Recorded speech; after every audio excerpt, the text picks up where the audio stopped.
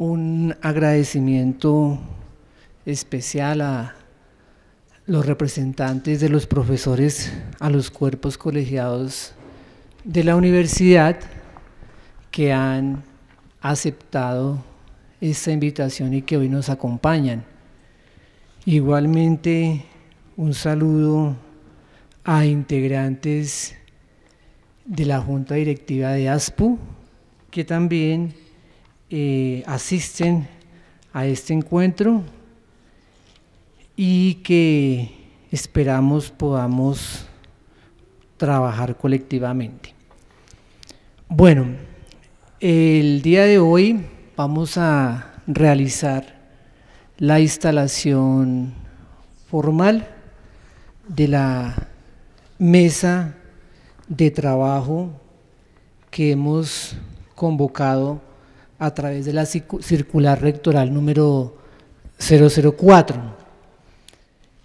Em, en esta circular hemos planteado que uno de los grandes retos que enfrenta actualmente la Universidad Pedagógica Nacional se encuentra en las condiciones laborales de sus docentes. Las disposiciones establecidas en la Ley 30 de 1992 y el decreto 1279 del 2002 imponen un marco legal que aunado a la poca asignación de recursos económicos para la educación superior, implican retos importantes en la concepción e implementación de la formalización laboral, por lo que abordar ese tema resulta de especial importancia para el bienestar de los maestros y maestras. Atendiendo a lo anterior el compromiso de nuestro programa rectoral, orientado a tratar el tema de la formalización laboral docente, pues me he permitido eh, invitar a los representantes profesorales ante los cuerpos colegiados de la universidad y a la Junta Directiva de ASPU-UPN a esta mesa conjunta de trabajo. Entonces hoy estamos haciendo la instalación institucional, formal, de esta mesa de trabajo. Vamos entonces a tener una presentación de parte eh, nuestra y luego pues la participación de ustedes. En la presentación queremos realizar pues la eh, contextualización de la mesa, los objetivos de la mesa de discusión, la metodología de trabajo que proponemos y el respectivo cronograma. Bueno, esta circular rectoral, como lo decía, atiende la línea de acción número 7 de nuestro programa rectoral, que tiene que ver con eh, la actualización de la estructura administrativa y normativa y con nuestro compromiso con la dignificación del trabajo en la Universidad Pedagógica Nacional.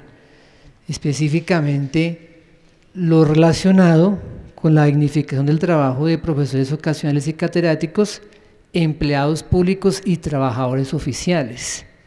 En esto queremos hacer un énfasis porque en los últimos días, últimos em, meses hemos presenciado en la universidad pues un discurso muy centrado en el tema de la formalización docente.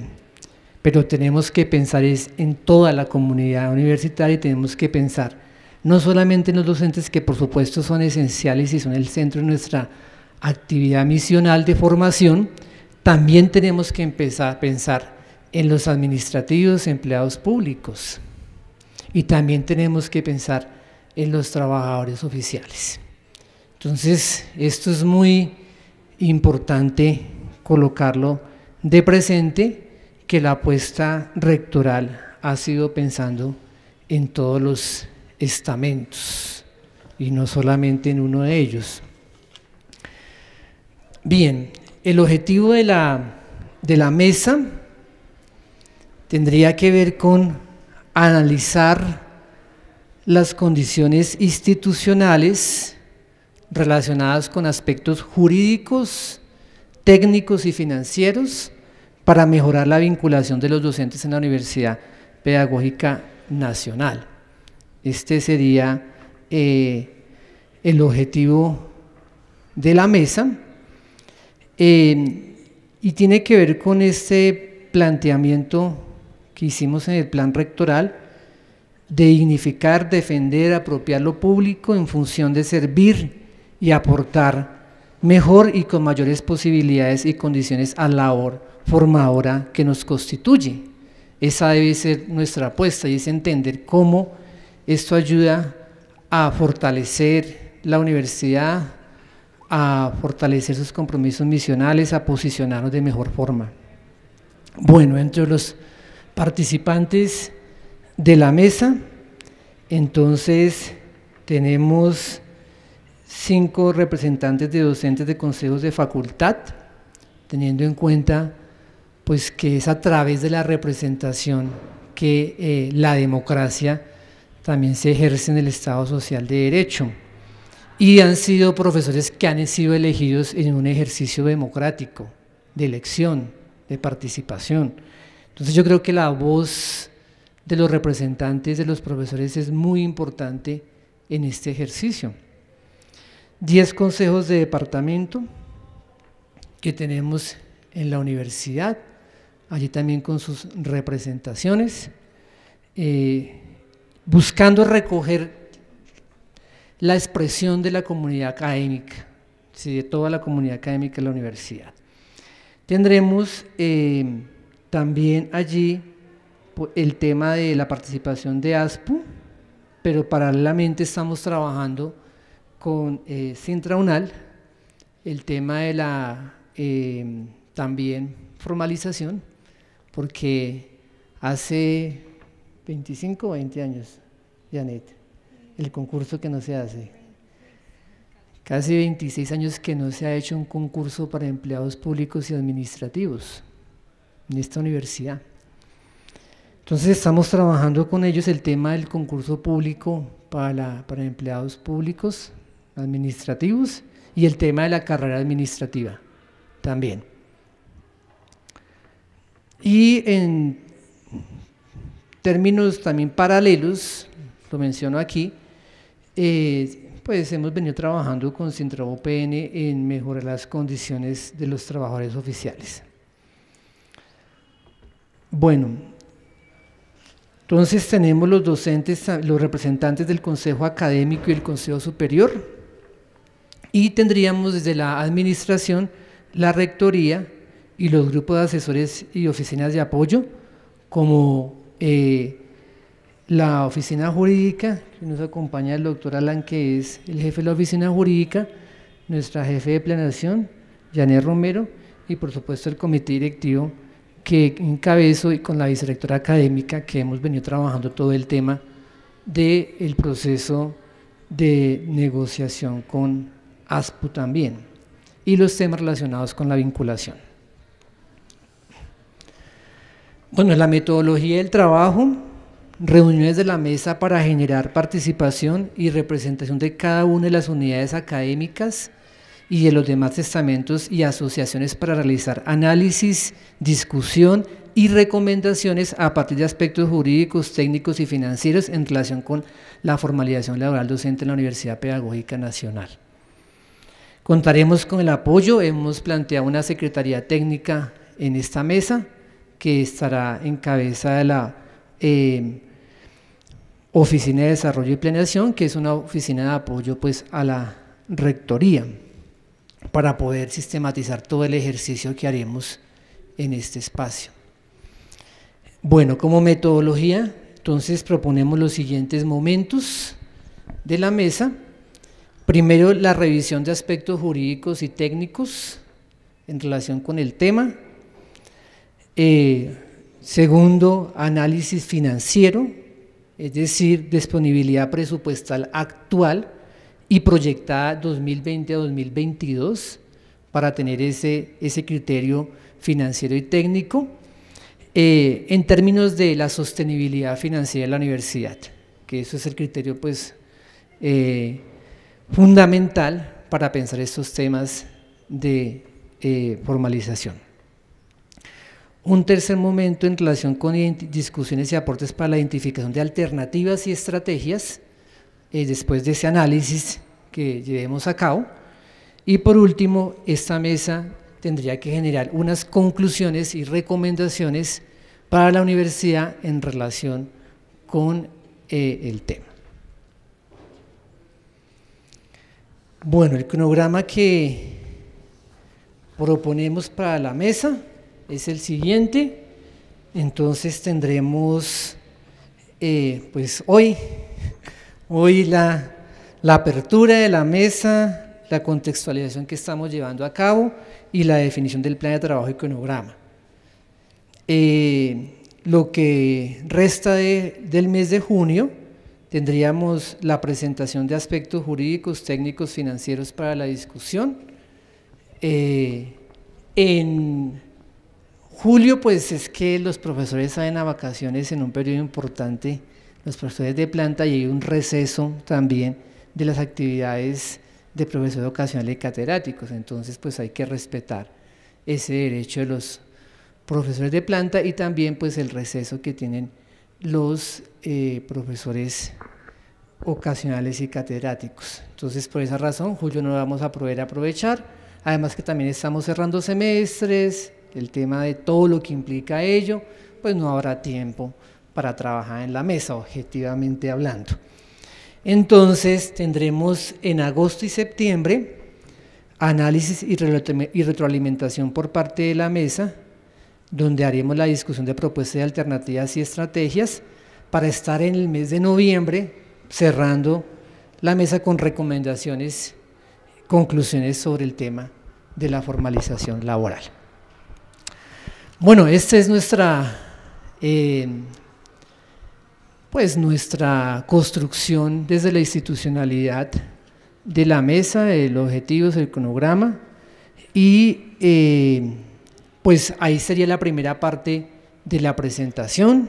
Abriríamos para eh, inquietudes frente a esta primera parte. Luego tendremos una presentación pues para iniciar de los aspectos jurídicos a tener en cuenta. Vamos a armar unos documentos de base para que la mesa los tenga como insumo y una presentación de aspectos eh, financieros para que tengamos ya desde hoy un panorama de eh, estas, estos insumos para trabajar y también identificando los documentos eh, que son importantes para el análisis respectivo. Esas son como las dos partes de la, de la reunión del día de hoy. Entonces ahí termino para la primera parte frente a, a los temas de la mesa, objetivos, metodología, cronograma y pues si hay alguna inquietud de esta primera parte, bienvenida sea.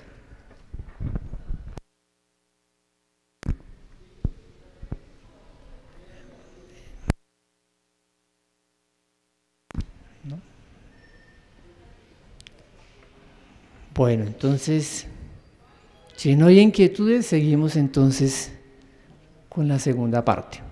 Bueno, bueno, entonces vamos a seguir con la segunda parte, que es análisis jurídico preliminar que hemos hecho de este tema, y ahí vamos identificando los insumos que todos los integrantes debemos tener en cuenta para para esta discusión. Entonces le paso la palabra al doctor Alan, quien va a hacer la presentación de esta parte. Muchas gracias, señor rector. Muy buenos días a todos y todas las asistentes a, este foro. Eh, en primer lugar, es importante eh, reafirmar el compromiso institucional de la universidad. ¿Me escucha? En primer lugar, es importante reafirmar el compromiso institucional y jurídico que la Universidad Pedagógica ha emprendido eh, para profundizar el diálogo social con todos los estamentos sociales y de esa manera pues eh, cumplir con todas las obligaciones convencionales y constitucionales y respetando el derecho fundamental y sagrado de asociación. En ese orden de ideas la universidad continúa eh, y propende por profundizar esos espacios de diálogo de tal manera que paralelos a ellos este tipo de mesas permitan explorar salidas jurídicas a estas discusiones en un marco democrático. Eh, en primer lugar, pues es importante señalar un contexto normativo eh, en, cuanto a la forma de vinculación.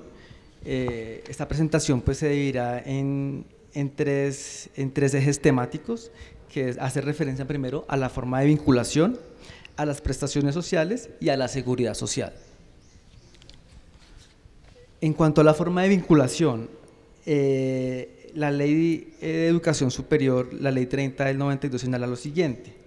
Artículo 31. Los profesores podrán ser dedicación exclusiva de tiempo completo, de medio tiempo y de cátedra. La dedicación del profesor de tiempo completo a la universidad será de 40 horas semanales. En cuanto a la forma de vinculación, es importante señalar que eh, en el marco del principio de autonomía universitaria, eh, la universidad pedagógica optó por vincular a, los profesores mediante una relación legal y reglamentaria, es decir, mediante un acto administrativo, de tal manera que pues, eh, esa vinculación se concrete eh, respetando el principio de igualdad. en cuanto a esa forma de vinculación, esta misma se concreta en el artículo 70 y siguientes de la ley 30 del 92 señala lo siguiente la norma, artículo 71, los profesores podrán ser dedicación exclusiva de tiempo completo, de medio tiempo y de cátedra. La dedicación de profesor de tiempo completo a la universidad será de 40 horas laborales semanales. La dedicación del profesor de tiempo completo a la universidad será de 40 horas laborales semanales. En cuanto a la forma de vinculación, como les comentaba, eh, la, la universidad, en virtud de ese principio de autonomía universitaria, propuso que se hiciera esa, esa, esa, esa vinculación mediante una...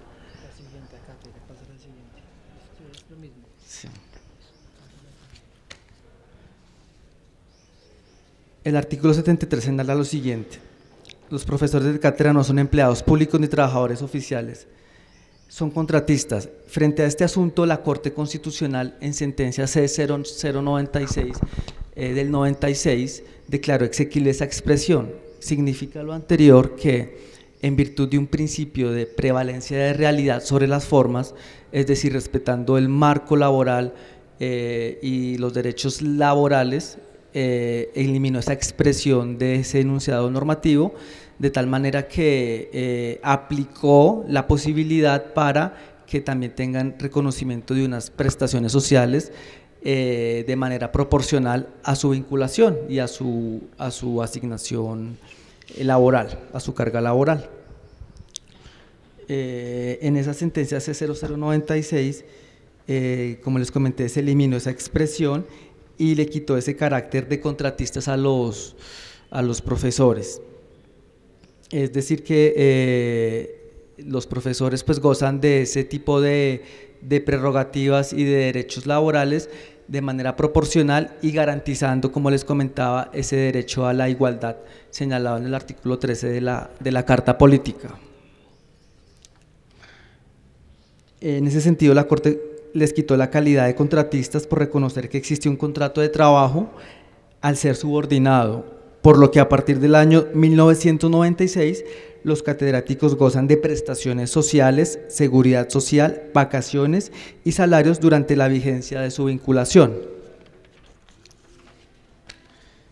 Em, esa misma situación se presentó con los profesores ocasionales, pues anteriormente el artículo 74 de la ley 30 establecía que los profesores ocasionales eran aquellos con dedicación de tiempo completo de medio tiempo que sean requeridos transitoriamente por la entidad para un periodo inferior a un año.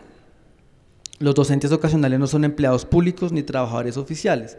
Sus servicios serán reconocidos mediante resolución y no gozarán de régimen prestacional previsto para estos últimos.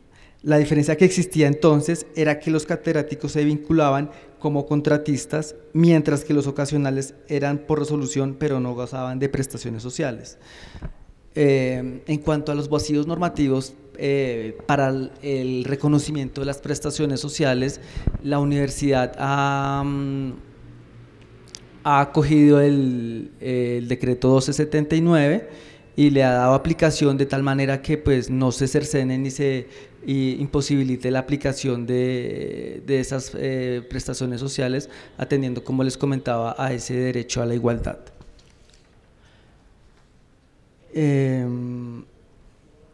Posteriormente, con esa sentencia multicitada, la C006 del 96, el artículo 74 quedó de la siguiente manera. Artículo 74. Serán profesores ocasionales aquellos que con dedicación de tiempo completo o de medio tiempo sean requeridos transitoriamente por la entidad para un periodo inferior a un año. Los docentes ocasionales no son empleados públicos ni trabajadores oficiales. Eh, nosotros eh, desde la oficina jurídica hicimos eh, hace varias semanas un análisis jurídico frente a las vinculaciones de esta naturaleza y encontramos otras experiencias que podríamos echar de mano y debatirlas con esta mesa de trabajo. Por ejemplo, en la Universidad Distrital hay una figura que se llama vinculación especial, que es diferente a los profesores de planta. La invitación desde mm, la oficina jurídica es que miremos la posibilidad de explorar otras salidas dentro del marco legal y normativo vigente que permitan eh, pues evitar en la menor medida posible este tipo de vacíos normativos. Eh, nos pareció muy importante ese concepto jurídico de la, de la Universidad Distrital porque pues hace una diferencia y una distinción importante sin eh, cercenar ese derecho a la igualdad que tienen los profesores ocasionales y catedráticos para que accedan a sus prestaciones sociales. Entonces, pues desde nosotros, desde nuestro punto de vista es importante pues tener en cuenta tener en cuenta otras experiencias en otras universidades públicas eh, con miras a, a compartir esas experiencias y por qué no pues tenerlas en cuenta acá para hacer un ejercicio colectivo de, de construcción normativa en la mayor medida posible.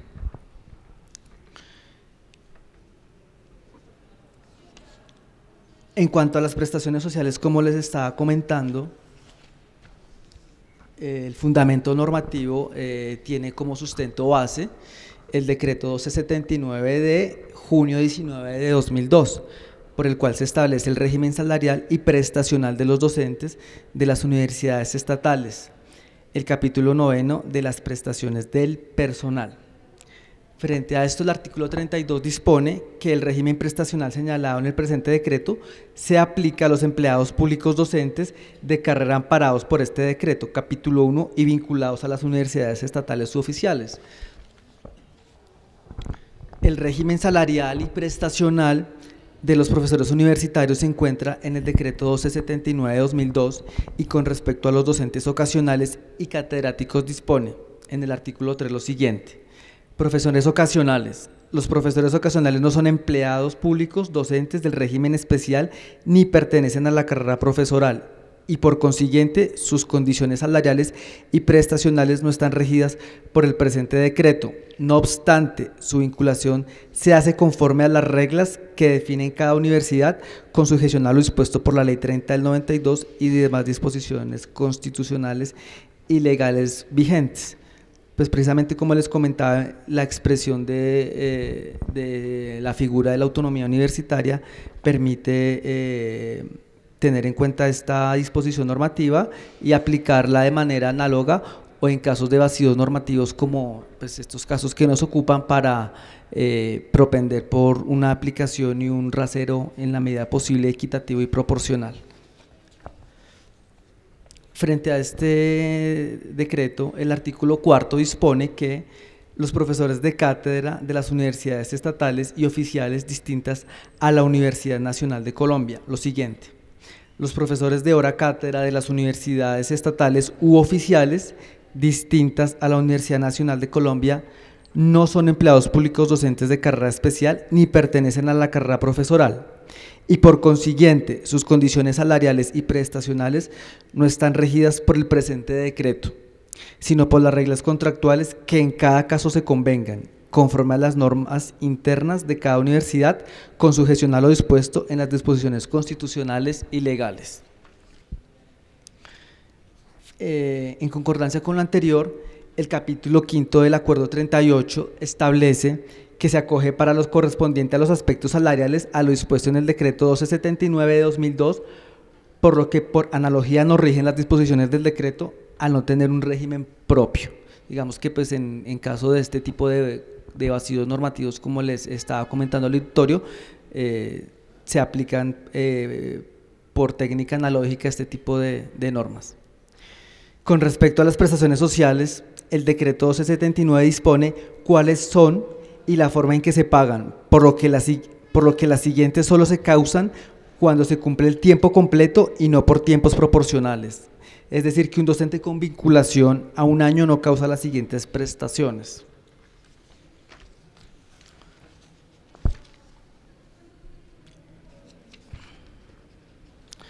Prestaciones sociales.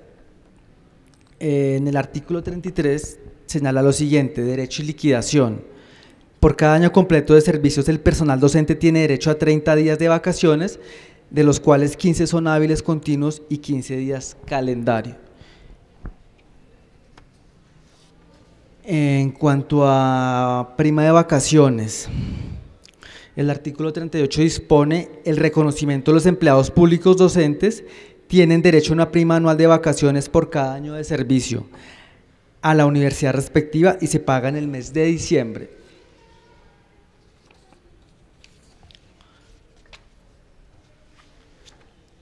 De la prima de servicio está dispuesta en el artículo 44. Reconocimiento y liquidación. Los empleados públicos docentes tienen derecho a una prima anual de servicios equivalente a 30 días de remuneración mensual la que se paga completa a quienes hayan estado vinculados durante un año, a los empleados públicos docentes de carrera que hayan estado vinculados por tiempo inferior a un año y siempre que hubieran servido a la universidad respectiva por lo menos seis meses. Se le liquida proporcionalmente a razón de una doceava parte por cada mes de servicio completo. Eh, el artículo 44, en cuanto al reconocimiento y liquidación, señala que los empleados públicos docentes tienen derecho a una prima anual de servicios equivalente a 30 días de remuneración mensual, la que se paga completa a quienes hayan estado vinculados durante un año.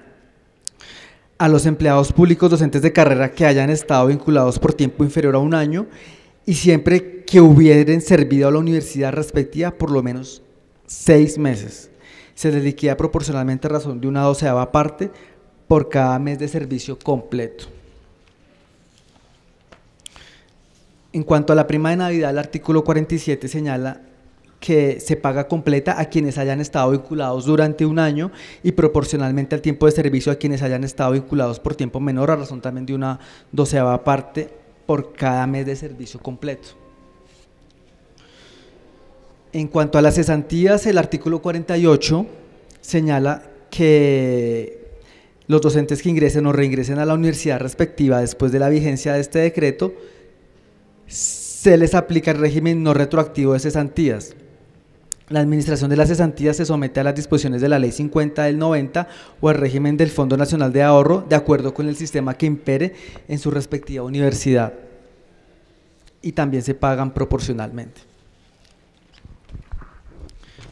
Eh, en cuanto a al régimen pensional eh, o al sistema pensional, las pensiones e instituciones pensionales de los empleados públicos docentes de las universidades estatales u oficiales se rigen por lo establecido en la Ley 100 del 93 y las normas que la reglamenten, adicionen o modifiquen.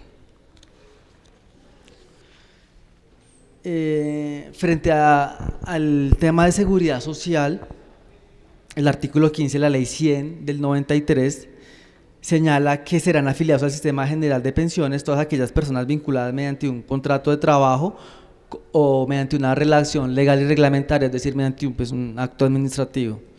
De igual forma, el artículo 17 de la Ley 100 del 93, modificado por el artículo 4 de la Ley 797, indica que durante la vigencia de la relación laboral serán obligatorios los aportes a seguridad social en pensiones. Eh, en cuanto a la, vinculación de los docentes por hora cátedra u ocasionales, eh, esa vinculación se concreta mediante un acto administrativo eh, y como señala la norma no se, pues, no se asemejan o no se equiparan a servidores públicos propiamente dichos. esto quiere decir que el pacto señalado en las normas analizadas no resultaría aplicable de alguna manera, ¿no? No existe normatividad expresa ni jurisprudencia que en su parte decisoria o en su radio decidendi se pronuncie frente a la situación particular de los docentes de hora cátedra vocacionales vinculados a un establecimiento de educación superior o carácter público. Eh, frente a este vacío no solamente legal, sino jurisprudencial, tampoco existe una sentencia de unificación del Consejo de Estado, de la Sala de Contencioso Administrativo o de la sección laboral, pues que disponga lo pertinente, para lo cual pues también ese vacío pues jurisprudencial eh, impide pues este tipo de situaciones. En cuanto a la seguridad social, no hay norma expresa que permita aplicar los pagos solamente al sistema de seguridad social en salud cuando se trata de trabajadores dependientes. Por lo que reconocer este pago implicaría prever aportes para todos los subsistemas. De igual forma, para el sistema de riesgos laborales no hay disposición o reporte de novedad que evite realizar su pago por interrupción de la relación laboral. Es decir, esto solo se permite en los casos de ley ya expuestos. Durante los periodos de cesación de la relación laboral no hay un salario reportado para el trabajador, es decir, no hay un ingreso base de cotización que reportar ni tampoco hay una disposición que indique cómo descontar los aportes que correspondan al, al empleado. Bueno, para concluir, eh, es importante tener en cuenta que pues eh, debido a las limitaciones normativas y jurisprudenciales, independientemente de, esos escenarios, la universidad eh, continúa desde la, Rectoría y por instituciones desde del señor Rector en emprender este tipo de espacios de discusión para o con miras a construir colectivamente eh, mm, un régimen eh, que permita pues eh, armonizarlo a la luz de las disposiciones que la universidad pedagógica debe cumplir cabalmente y sin desmedro los derechos laborales y prestacionales de todos los em, profesores. Muchas gracias. Bueno, ahora vamos a, como les decía, el objetivo de estas dos presentaciones, lo jurídico y lo financiero, es tener algunos elementos, ir ubicando los documentos, vamos a enviarles pues los documentos que han sido expuestos, eh, la ley, la sentencia de la Corte, el decreto, para que sepamos pues cuál es el marco jurídico que eh, la universidad debe cumplir y que en cierta medida es un criterio fundamental para cualquier toma de decisiones frente a un escenario de eh, formalización. Digamos que eso no podemos desconocerlo. ¿sí? La normatividad también interna, pues el estatuto eh, del profesor del acuerdo 038 del 2002, también donde también allí se eh, armoniza con la disposición nacional y las posibilidades que habrían de transformación allí también. digamos, es reconocer que como universidad nos movemos en ese marco, ¿sí? es decir, no podemos eh, violentarlo, sino que hay que buscar alternativas jurídicas que sean viables también. Bueno, ahora vamos a presentar algunos la contextualización financiera para también eh, eh, tener ese insumo para el análisis que vamos a llevar a cabo.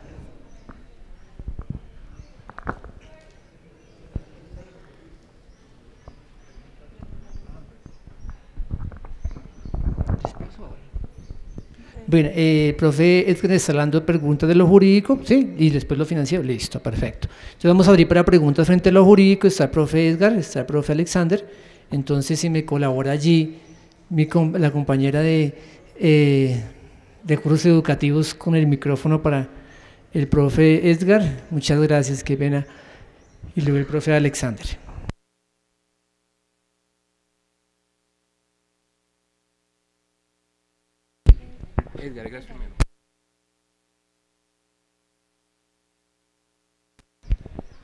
No, es que después de la explicación jurídica a mí no me queda todavía claro eh, respecto a la legalidad jurídica del de, docente ocasional, ¿sí? Porque entendí que amparado en la autonomía universitaria eh, podría existir, digamos, esa figura desde el punto de vista legal, jurídico, eh, del docente ocasional, pero contrastando con la otra normatividad que ya es de orden más eh, laboral, mm, eh, está la limitación del periodo de tiempo de contratación del profesor ocasional. Entonces, que entiendo es menor de un, de un año, dependiendo de las necesidades del servicio. Entonces, no, no, no me queda claro.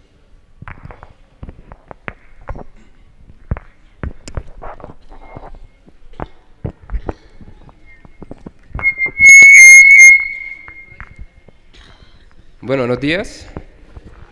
Eh, yo quiero hacer unas precisiones frente al marco jurídico que presentó el abogado porque, entre otras cosas, pareció que hay varias imprecisiones. Primero que todo, no es cierto que a los profesores de educación catástica les den un trato igualitario en relación con los profesores de planta en la Universidad Pedagógica Nacional, ¿sí?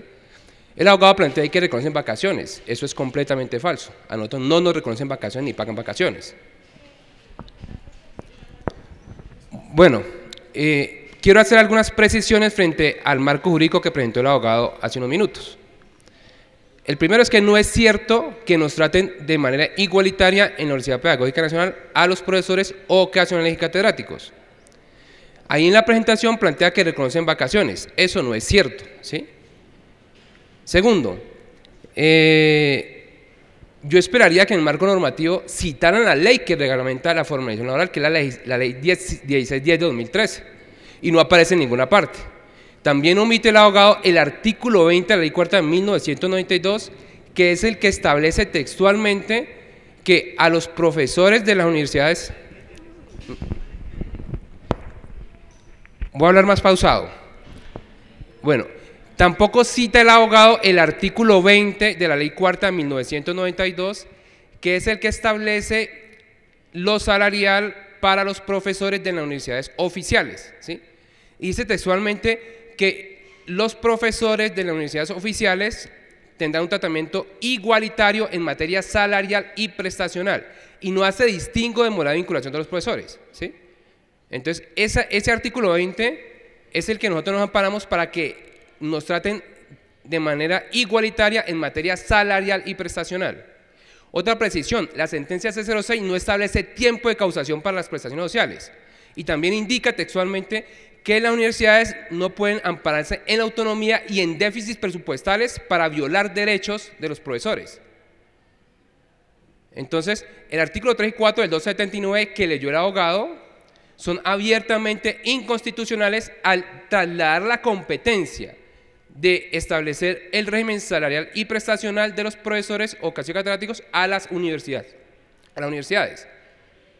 La sentencia del Consejo de Estado del 2009 claramente estableció ese, e, esa ilegalidad de los acuerdos superiores reglamentados por las universidades amparados en ese artículo 3 y 4.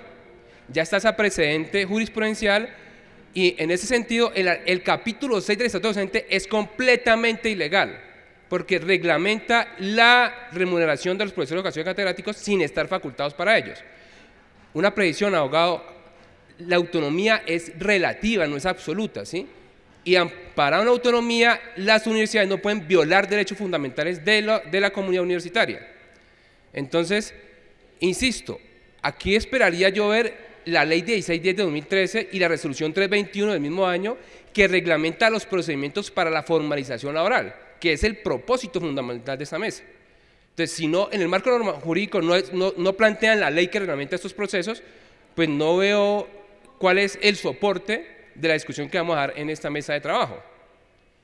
Y finalmente, el objetivo de la mesa indica formalización laboral docente. Y ya el rector pensó que la idea es ampliarlo a otro estamento. Entonces creo que ese objetivo se debe modificar para poder que eh, vincule a todos los estamentos.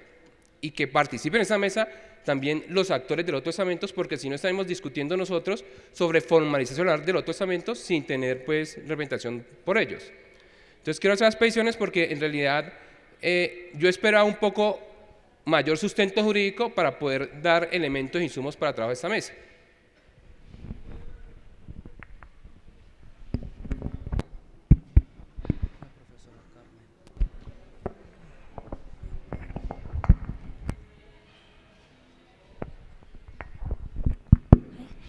Hola, buenos días.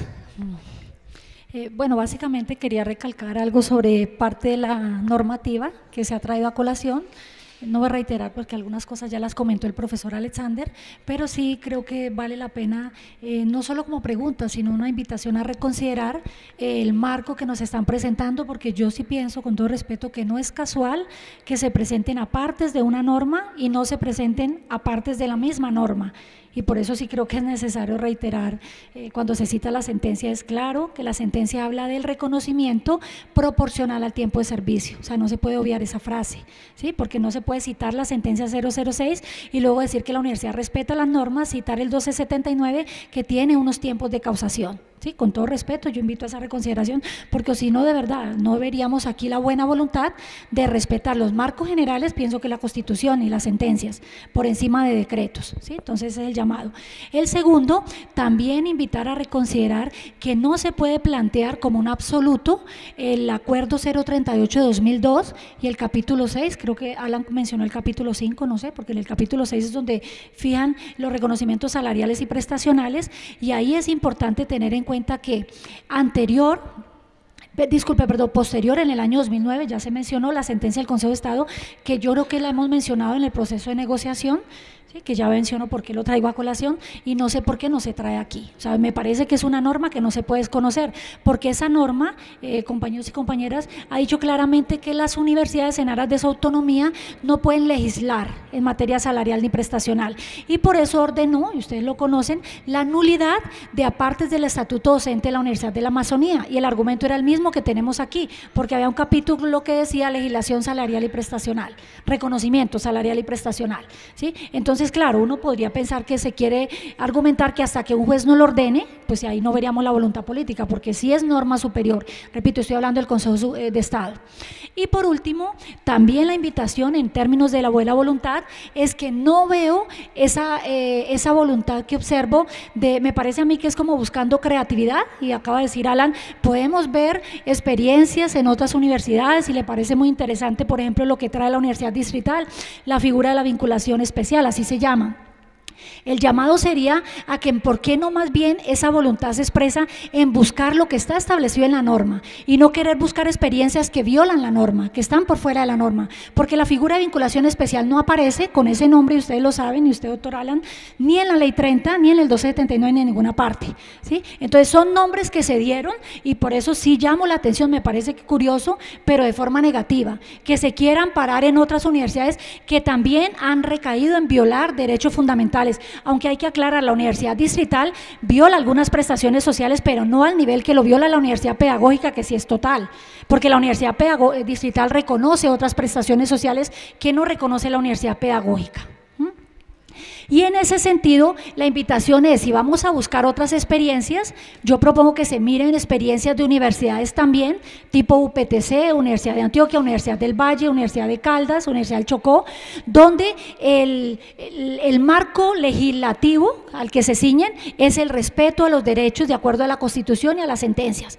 Y por eso, termino con eso, la experiencia UPTC me parece que justo después del acuerdo, pues ha señalado la necesidad de ampliar periodos de vinculación pero sobre todo respetar todas las prestaciones sociales de acuerdo a la sentencia en forma proporcional, que yo creo que fue la pequeña parte que fue omitida y yo creo que no es bienvenido que se omita esa parte. Ese era mi comentario. Gracias.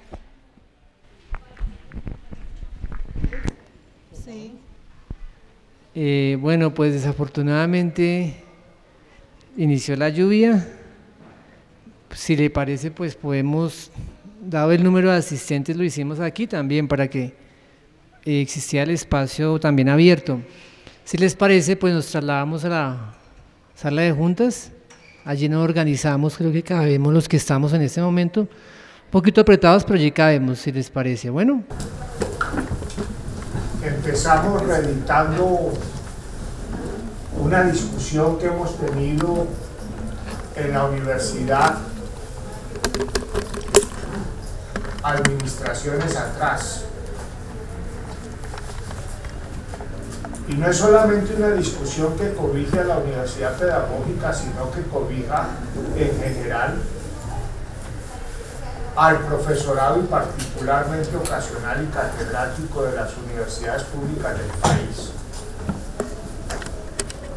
A nivel nacional se ha discutido también entonces sobre la inconstitucionalidad de algunos artículos del decreto 1279. Y se ha trabajado eso en negociaciones nacionales, pero lo cierto es que el decreto sigue vigente se han hecho interpretaciones diversas sobre las sentencias que ha emitido la Corte. Y entonces tenemos una versión que ha defendido ASPU y otra versión que han defendido los asesores jurídicos de esta universidad, de otras universidades y del Ministerio de Educación Nacional a través de su presencia en los consejos superiores.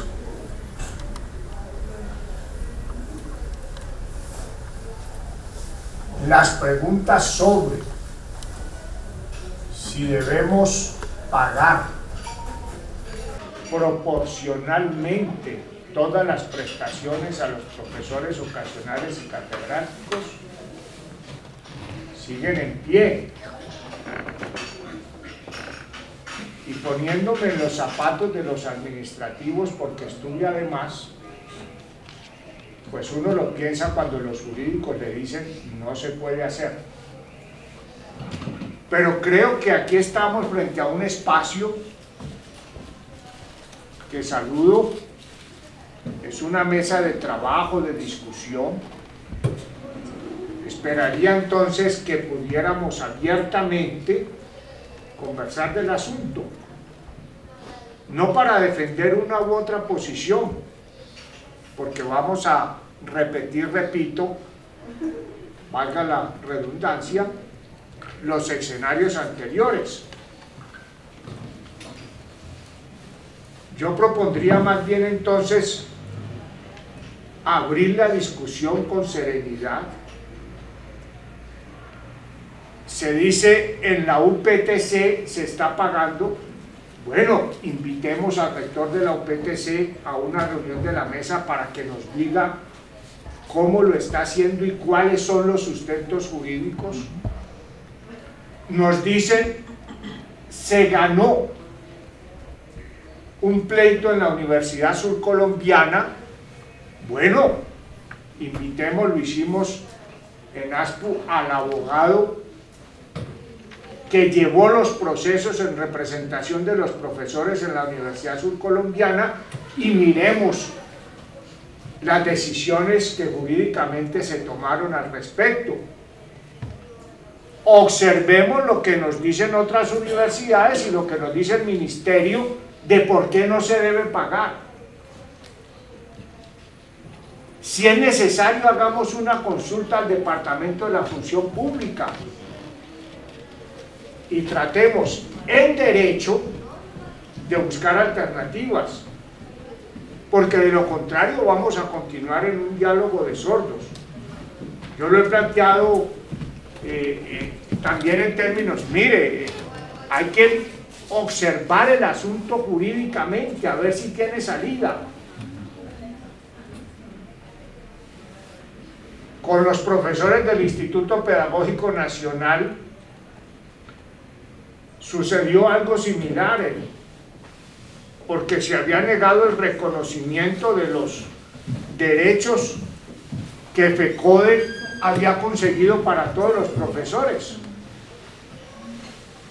Nos demoramos casi dos años trabajando jurídicamente el asunto hasta que hubo luz y se le pagó a los profesores.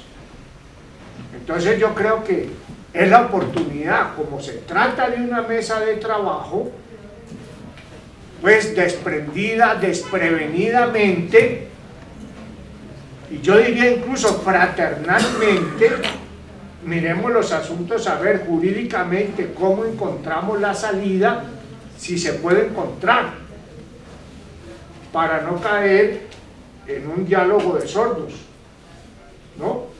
En derecho, si las cosas se pueden hacer, pues yo creo que habrá que hacerlas.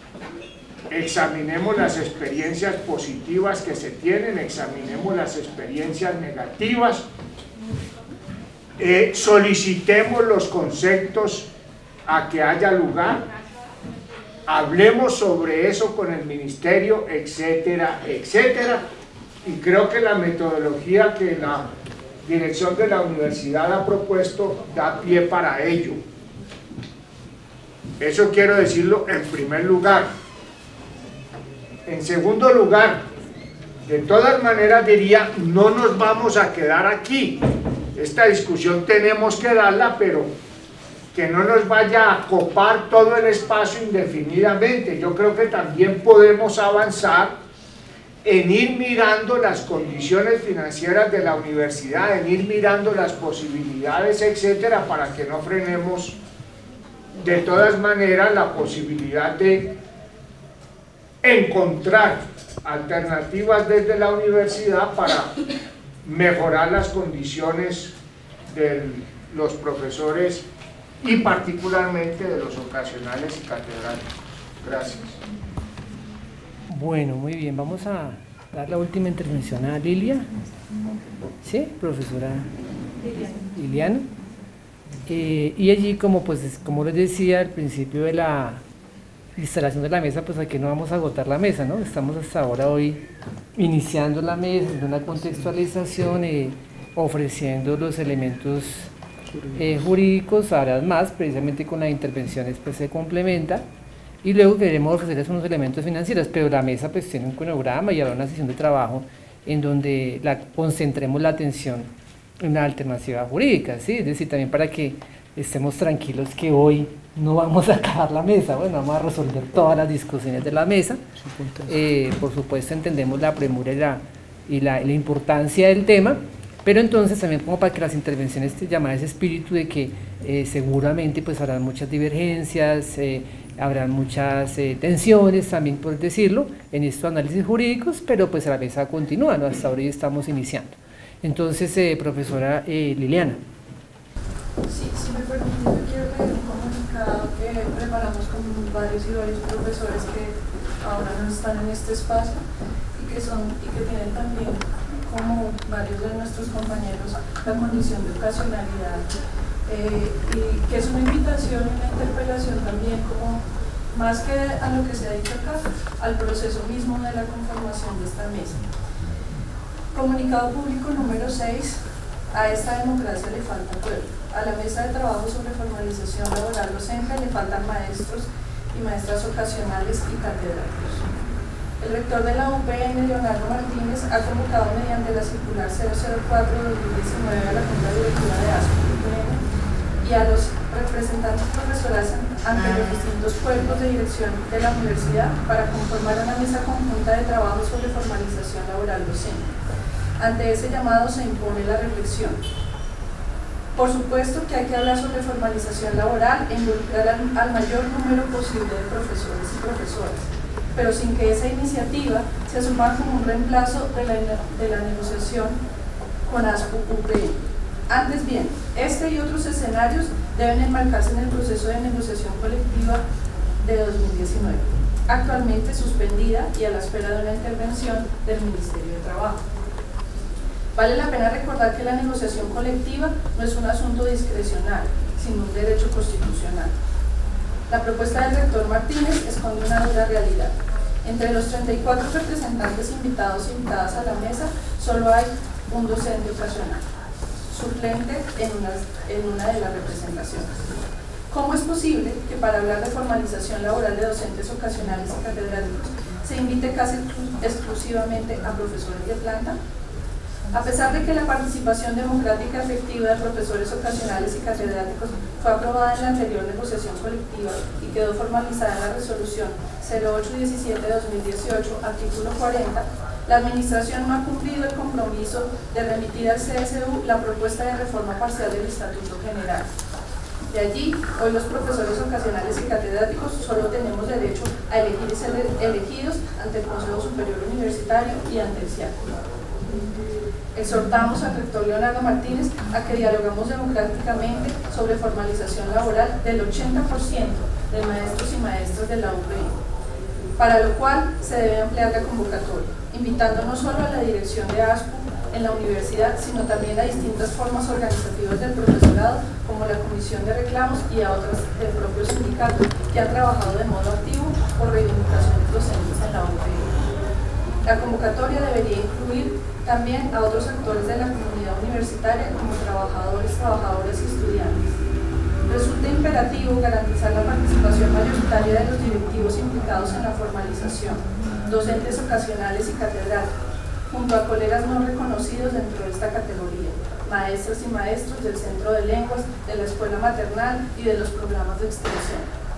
Acogemos la promesa del plan rectoral así enunciada, comillas, se trabajará sin descanso por la formalización de los profesores mal llamados ocasionales y catedráticos, hecho que equivale a, la ampliación en tiempo de su contratación con las correspondientes garantías prestacionales y el reconocimiento pleno de su papel como profesores universitarios en equidad con eh, los de planta.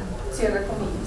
La acogemos porque esa promesa coincide plenamente con los postulados fundamentales del proyecto de acuerdo para la formalización laboral transitoria y gradual presentado por ASPU-UPN y que constituye el eje central del pliego de solicitudes 2019 tramitado ante la Administración Martínez.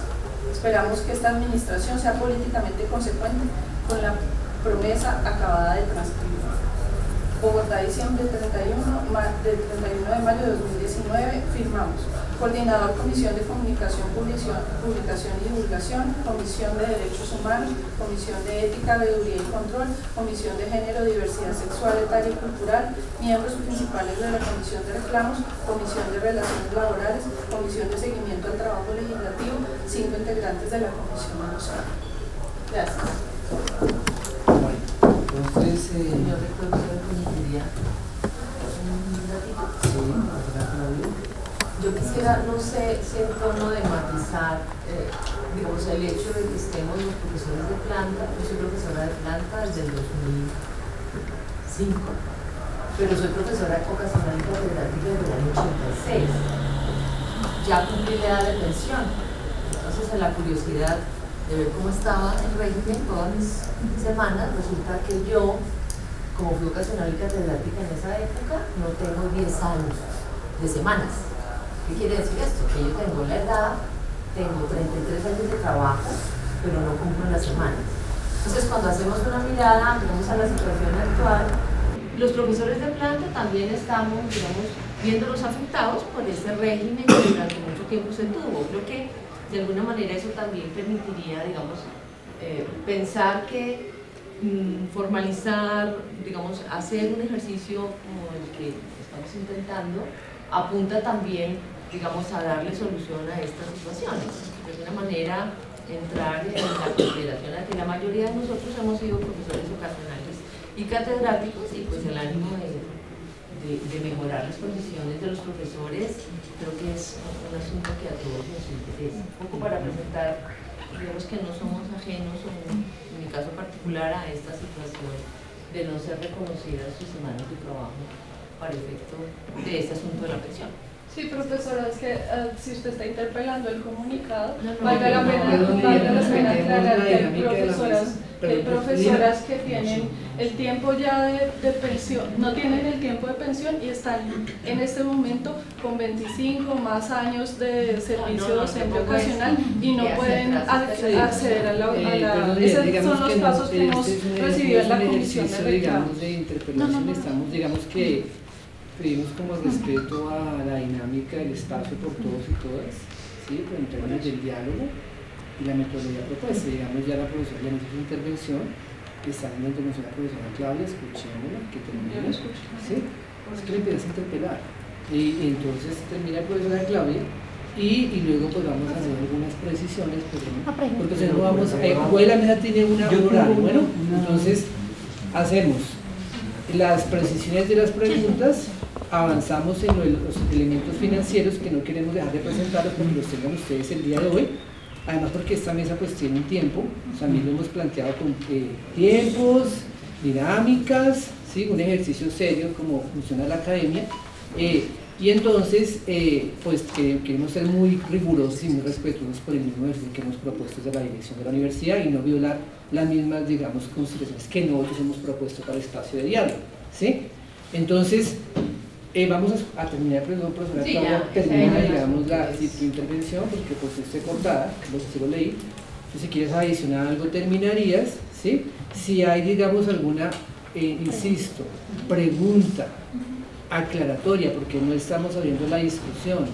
Hoy en términos de, eso va a haber una sesión en la que vamos a hacer análisis eh, de lo jurídico, ¿sí? pero es una mesa de trabajo. Si hay alguna pregunta, digamos, aclaratoria en relación con el objetivo, la metodología, los elementos que fueron presentados jurídicos para complementar, pues con todo el gusto, pero no procedería aquí una discusión porque hay otra sesión en la cual vamos a hacer análisis de la, parte jurídica y luego financiera. Entonces, profesora Claudia, ¿quieres adicionar algo? No, era un elemento que hay que tener también en cuenta en relación con los profesores de planta que fuimos ocasionales y Perfecto, profesora Claudia. Y la profesora Carmen, eh, profesora Ancista, y están pidiendo la palabra aquí el profesor Juan Carlos. Y es que coge Juan Carlos de Física. Sí. Está pidiendo la palabra el profesor Juan Carlos de Física. Entonces, eh, estaría Carmen, Ancisa, Juan Carlos de Profe de Física, Departamento de Física, y ahí cerramos las intervenciones para este tema jurídico, hacemos algunas aclaraciones de, en relación con las preguntas y continuamos para cerrar el día de la mesa, que es el tema financiero. ¿Listo? El contexto, la contextualización financiera que llama llamar. Una contextualización de ese elemento. Entonces, profesora Carmen. Sí, gracias, profesor. La pregunta va en los siguientes términos y aclarar que no se trata de dilatar ese espacio, sino que de pronto no se ha entendido bien. Eh, de un sector del profesorado hemos reclamado, y, es, y si es una pregunta, eh, como la naturaleza del espacio. Nos quedó claro en la presentación inicial eh, donde cierran diciendo al final habrá recomendaciones a la universidad. Entonces, desde ese punto de vista, nosotros, y creo que se expresa en el comunicado, eh, hemos dicho bienvenidos todos los espacios que coadyuven a este proceso de la formalización, pero si es necesario, por eso insisto, no es dilatar, pero es necesario, me presente que un sector del profesorado, y en el cual tengo que hablar, me disculpan, pero pues soy la fiscal de, la Junta y represento ese sector, si insistimos en que el proceso de negociación colectiva no se reemplace o sea, no era una intervención cuando se le dio el comunicado para dejarlo ahí como una cosa más. Es importante por lo menos tener presente y que quede, porque me imagino que habrá antes de cada sesión, que nuestro sector manifiesta que el proceso de negociación no se reemplaza. Bienvenido cualquier otro espacio, pero el proceso de negociación, que es un derecho constitucional que está establecido, artículos 39 y artículo 55 de la Constitución, dice claro con quién se negocia y se negocia con los sindicatos. Entonces, con eso no queremos ni más falta de excluir o desconocer todos los estamentos de la universidad. Y por eso en el comunicado resaltamos, y por supuesto que los profesores de planta tienen mucho que decir, y los trabajadores y los estudiantes. Pero yo sí creo que es importante hacer la petición, que quede esa constancia, porque nosotros insistimos, todo este proceso surgió, no podemos desligarlo de lo que fue el acuerdo y el movimiento del semestre pasado. Y cierro diciendo, el proceso de negociación el cual hemos hecho un llamado a la, dirección de la universidad que no se escuden diferencias que hemos tenido y por eso eso está en manos del Ministerio de Trabajo y yo creo que el señor rector nos puede verificar aquí, conforme, confirmar lo que estoy diciendo. Se han hecho llamados desde el Ministerio de Educación, Ministerio de Trabajo, la Rectoría, ¿cierto? Para volver a la mesa de negociación eh, ayer, antier, en la mesa de diálogo, lástima que el señor rector se había ido, pero el señor rector lo puede decir, estuvo, manifestó, preguntó sobre formalización, al final todo en el acta lo pueden verificar, el llamado para que el representante del SUE asista cuando asista y no se vaya, porque sí, no queda muy bien visto que se vaya cuando el Ministerio de Trabajo manifestó el llamado a la Universidad Pedagógica Nacional a retomar la mesa de negociación, a invitarlo de la mejor manera, porque si no lo que procedían eran sanciones. Yo creo que el profesor lo puede decir porque aunque ya se ha retirado, creo que conoce ese marco. Entonces, no se trata de dilatar o desconocer otros espacios. Es decir, que nosotros sí nos identificamos con ese espacio, ustedes comprenderán, es natural, si creemos en el sindicato, pues creemos en los derechos establecidos en la Constitución para los sindicatos y uno de esos es la negociación. Entonces sí es decir que ese espacio sí se llegan a acuerdos que tienen obligatoriedad de cumplimiento, que no se han cumplido los del año pasado y por eso bienvenidos todos los espacios, pero sí creemos previo una voluntad, primero de cumplir acuerdos y segundo de no suplantar espacios reconocidos por constitucionalidad. Era eso, gracias. Bueno, profesor César, Pues no, no sé si, si me perdonan los colegas, pero eh, yo entiendo que hay una junta directiva de ASMO. ¿sí? Entonces la junta directiva eh, se supone que se eligió por mayoría y que si creemos en eso, pues esta es la que debería eh, tomar la, la, posición de ASPO. Porque si no, pues cada sector que está en ASPO entonces va a querer decir eh, y no, no, vamos a, no vamos nunca a ponernos de acuerdo. Segundo, si esto no es el espacio de la negociación, pues entonces ¿A qué vinimos? Obviamente no vinimos a negociar. Yo estoy esperando escucharlo del marco eh, financiero y no, no entiendo por qué estamos discutiendo que yo tampoco creo que esto sea el lugar de la, negociación ni el problema del trámite laboral ni de, o sea, ¿por qué metemos esa discusión? No, no lo entiendo. ¿Por qué no escuchamos lo que nos van a decir que, y la naturaleza de este espacio? Y ya lo dijo Carmen, eh, es para hacer una recomendación. Hasta ahí entiendo yo. O sea, ¿por qué tenemos que hacer otras discusiones que no son las discusiones de, de este espacio? Esa sería mi... Ahora, en ASTU, pues no, no sé, se supone que tenemos la, la, la representación de los profesores. Eh, ¿Por terminamos con el profesor Juan Carlos? Sí, yo tengo como dos reflexiones. Una es eh, en relación con lo que decía la compañera en el comunicado, que sí me parece importante que a estos espacios sean convocados los profesores ocasionales y catedráticos, que haya una buena representación, digamos en un buen número, porque de alguna manera, pues eh, ellos pueden dar también muchas más luces eh, a los, como los procesos que se están dando acá. Muchos de ellos tienen como más conocimiento en relación con las condiciones y las condiciones de contratación y laborales en las que, en las que se encuentran. Eso creo bastante importante no solamente en aras de que tengan voz, sino también en aras de tener un espíritu mucho más democrático, que escuche las voces de todos los, sectores eh, de la universidad. Sabemos que particularmente aquí en la universidad los profesores ocasionales y de cátedra son un gran número y soportan muchos de los procesos de investigación, de docencia, de extensión, ¿sí? están soportando en una buena medida los, los, procesos que se dan aquí en la universidad debido digamos, a las condiciones que ha tenido la universidad históricamente. Bien, por otro lado, pues me, me gustaría como saber un poco es, como poder entender un poco las, la, la intencionalidad de esta convocatoria que se hizo el día de hoy. ¿sí? Veo que uno de los temas eh, que se ha trabajado en, en, la negociación con ASPU es la formalización laboral, ¿sí? y parece ser que eso ese, es, ese es un tema muy, digamos, que está muy ligado a las reuniones, a las convocatorias que se hace desde la Rectoría y, desde ASPU para esta negociación.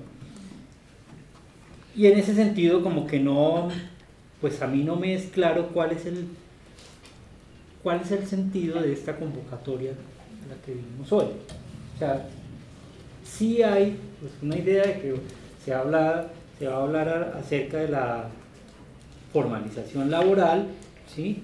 pero no encuentro como cuál es el sentido de esto, si es un sentido de poder dialogar sobre el asunto para que tanto ASPO como la administración de la universidad tengan luces sobre elementos para la negociación o es que aquí vamos a tomar algunas decisiones.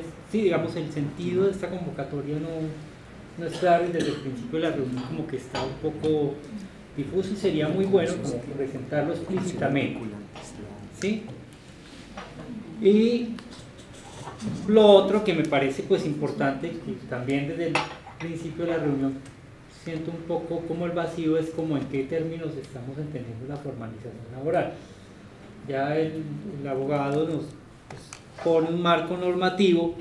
Eh, esperamos ahorita como unos elementos como que tienen que ver con las finanzas de la universidad, pero como que uno todavía queda bueno, esto de la formalización laboral, en qué sentido se está entendiendo, como para poder ahora sí tener como elementos para eh, como de juicio, para comprender por, por qué ponemos eh, el marco normativo que se pone y por qué el marco, digamos, financiero de la universidad que se pone para poder entender un poco eso. Que pues quedan como unos elementos ahí sueltos eh, que sí tienen que ver con el asunto, pero que no permiten una comprensión más allá de, de estos aspectos.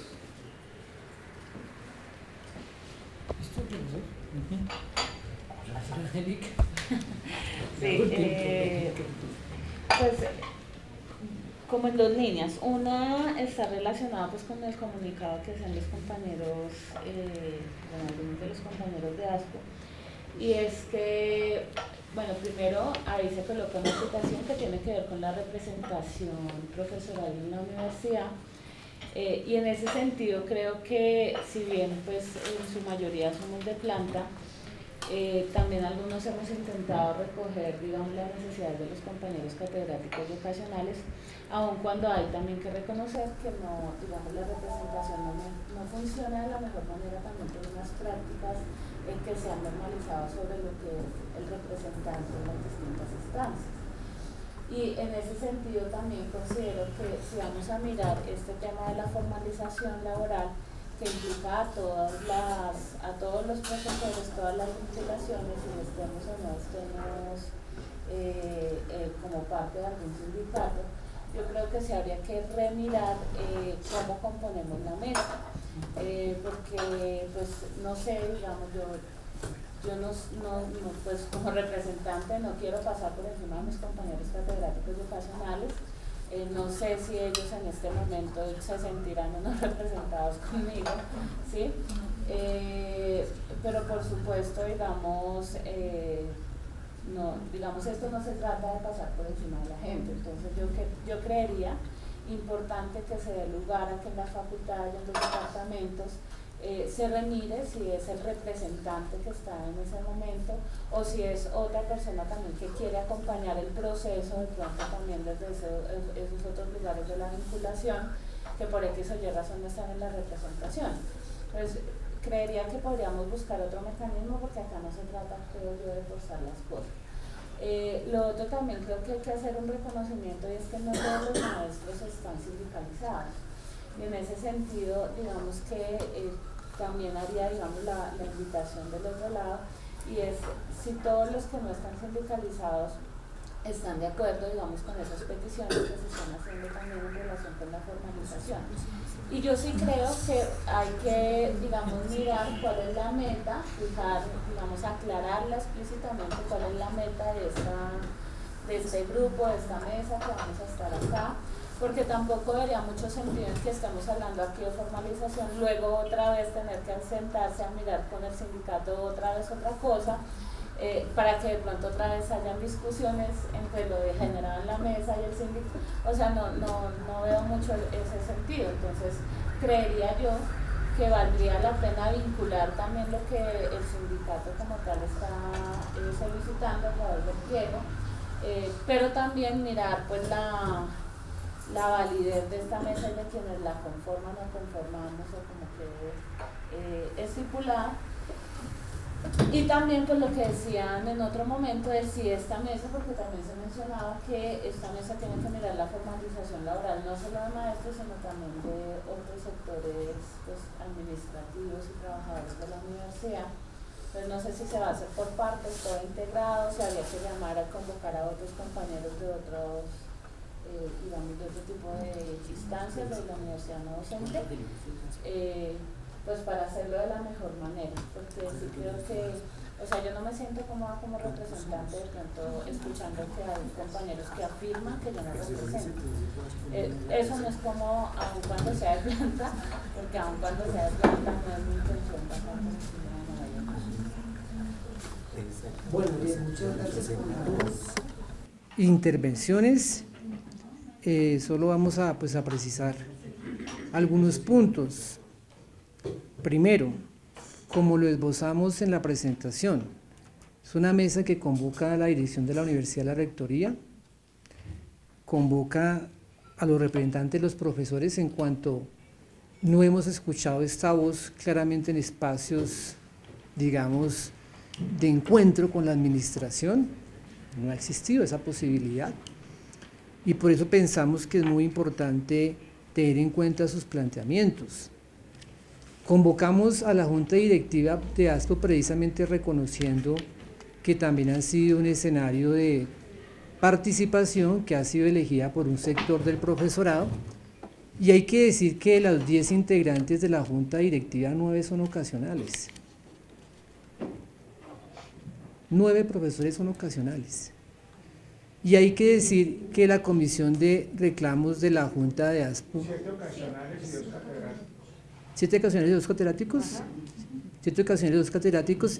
Y, y hay que decir uno de planta y hay que decir que la comisión de reclamos son ocasionales. La comisión de reclamos, profesores ocasionales. Entonces, digamos que la voz de los ocasionales también está presente en la mesa. Precisamos, esta es una mesa que vamos a convocar, y que, que convocamos, perdón, e instalamos para discutir con estos actores. Nosotros no vamos a, hacer una mesa para, digamos, eh, truncar el desarrollo de otras iniciativas que estamos llevando a cabo. En la, en la presentación yo precisé que en el marco de la línea 3 del programa rectoral tenemos que pensar en toda la comunidad universitaria y tenemos espacios para los otros actores que también estamos llevando a cabo. Entonces tenemos un espacio en la carrera, eh, en, el comité de carrera eh, de la universidad que venimos trabajando con representantes también de los empleados públicos para trabajar el tema de la formalización en cuanto a ellos. Igualmente, un espacio constitucional para trabajarlo. Es ahí donde la administración va a trabajar ese espacio y no aquí. Sí, eso digamos es un principio que sí lo dejamos muy claro. Segundo, el tema de los trabajos oficiales, hicimos un espacio de convención colectiva de negociación que también nos ha dejado unos derroteros y unos desafíos y será en el seguimiento y cumplimiento de lo pactado con los trabajos oficiales que llevaremos a cabo ese ejercicio, no aquí. Sí, digamos, eso sí queremos dejarlo claro de presente, porque hay otros espacios que no sustituyen esta mesa y que deben respetarse. Ahora, también queremos aclarar que de ninguna manera, por supuesto, y no lo hemos dicho en ninguna comunicación ni en la circular, este espacio reemplaza el proceso de negociación con ASPO. En eso estamos totalmente de acuerdo ni más faltaba.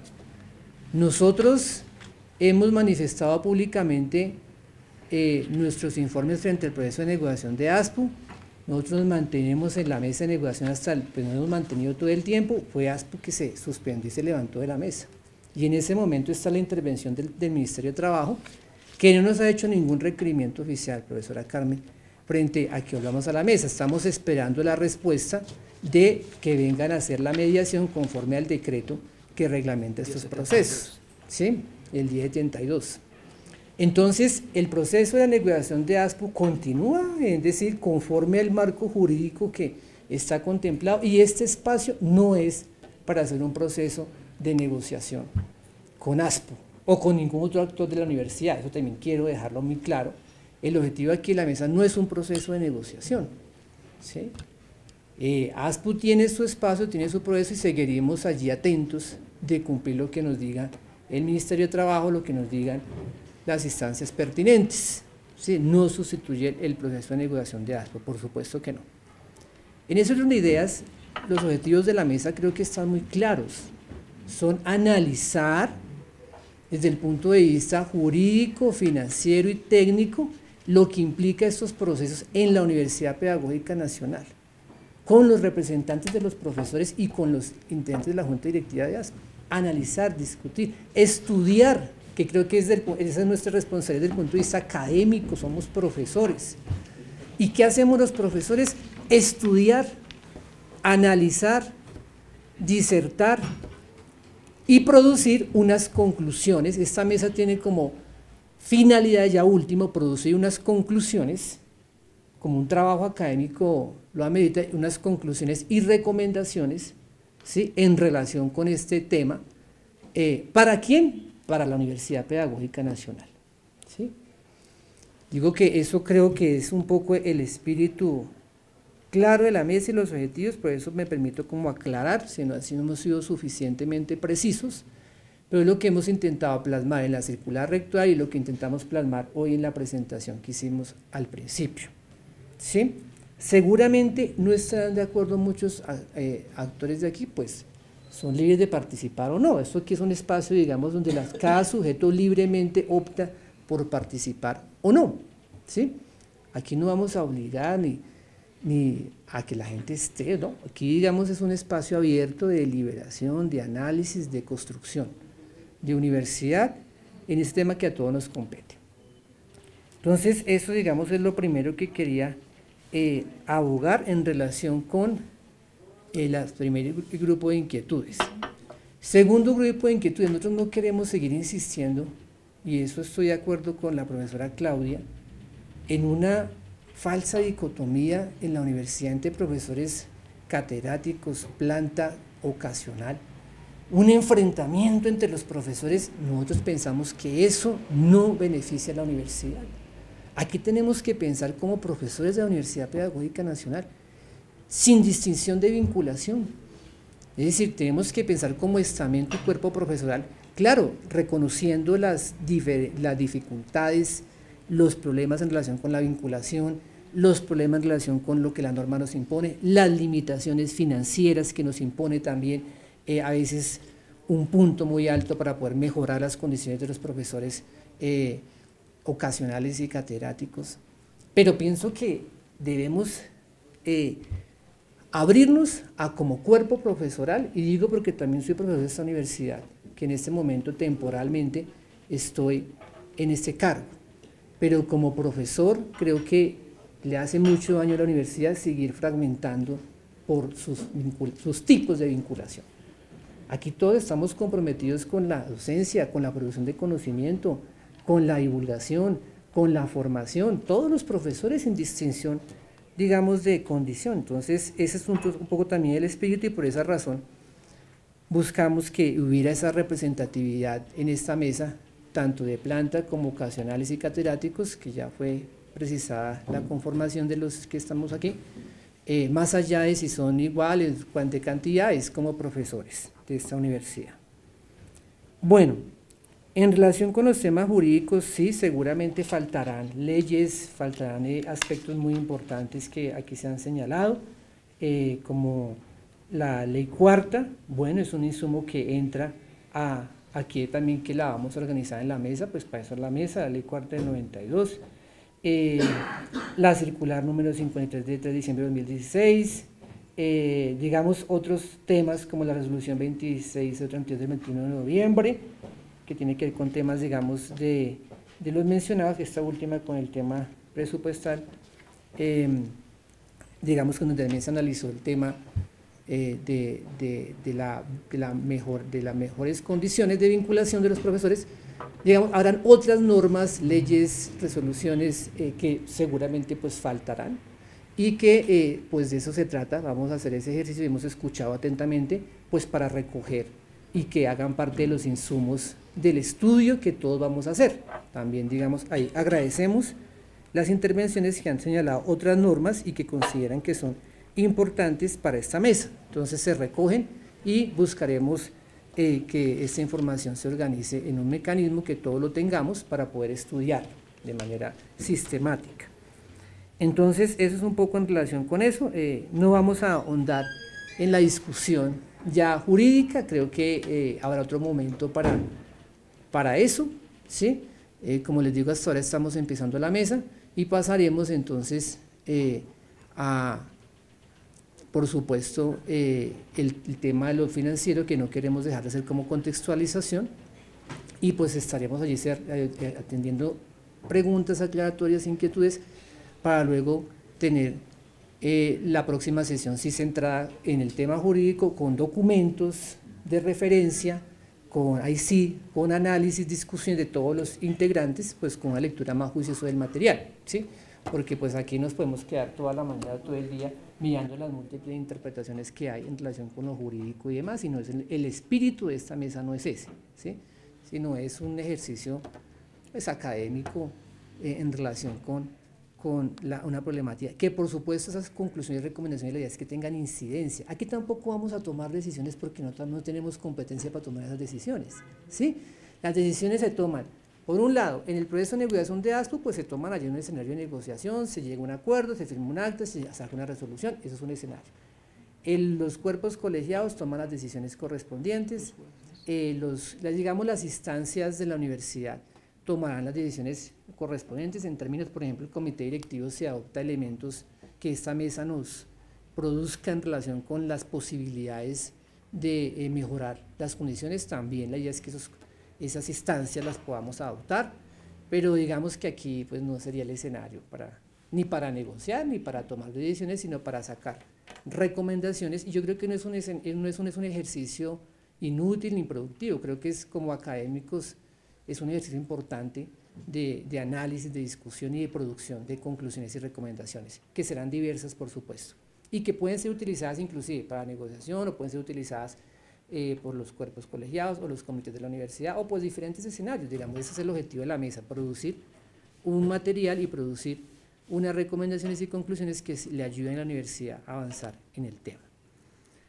Bueno, entonces, eh, Janet, te doy la palabra para que hagamos la contextualización financiera y, eh, y luego haremos preguntas aclaratorias al respecto. No está, no está cargando. Ya. ¿Sabes la primera? Sí, la primera. Sí, es la primera. Bueno, buenos días, estimados profesores. Eh, entonces tenemos hoy desde la Oficina de Planeación algunos datos que son iniciales para este proceso eh, de trabajo que convoca esta mesa. En ese orden de ideas, en la medida en que avancemos, pues seguramente vamos a ir eh, también ahondando digamos, en información más precisa eh, relativa a, las diferentes necesidades que, se, que surjan pues, de, de trabajo. Esta diapositiva inicial eh, busca presentarles un panorama general que está hoy reflejado en unos informes que viene trabajando el SUBE desde hace aproximadamente 10 años, eh, en donde eh, se busca analizar realmente la situación de diferentes aspectos de la, vida de las universidades públicas, pero en este caso pues es el, el tema que tiene que ver con docentes. Estos informes los encontramos hoy ya publicados en diferentes páginas. Eh, la universidad eh, recibió del SUE eh, unos ejemplares también que puede compartir, digamos, para que se tenga un análisis mucho más cercano con cifras del sistema y de cada una de las universidades. Entonces tomé esta, esta tomé, no, pues tomé los datos para crear esta diapositiva.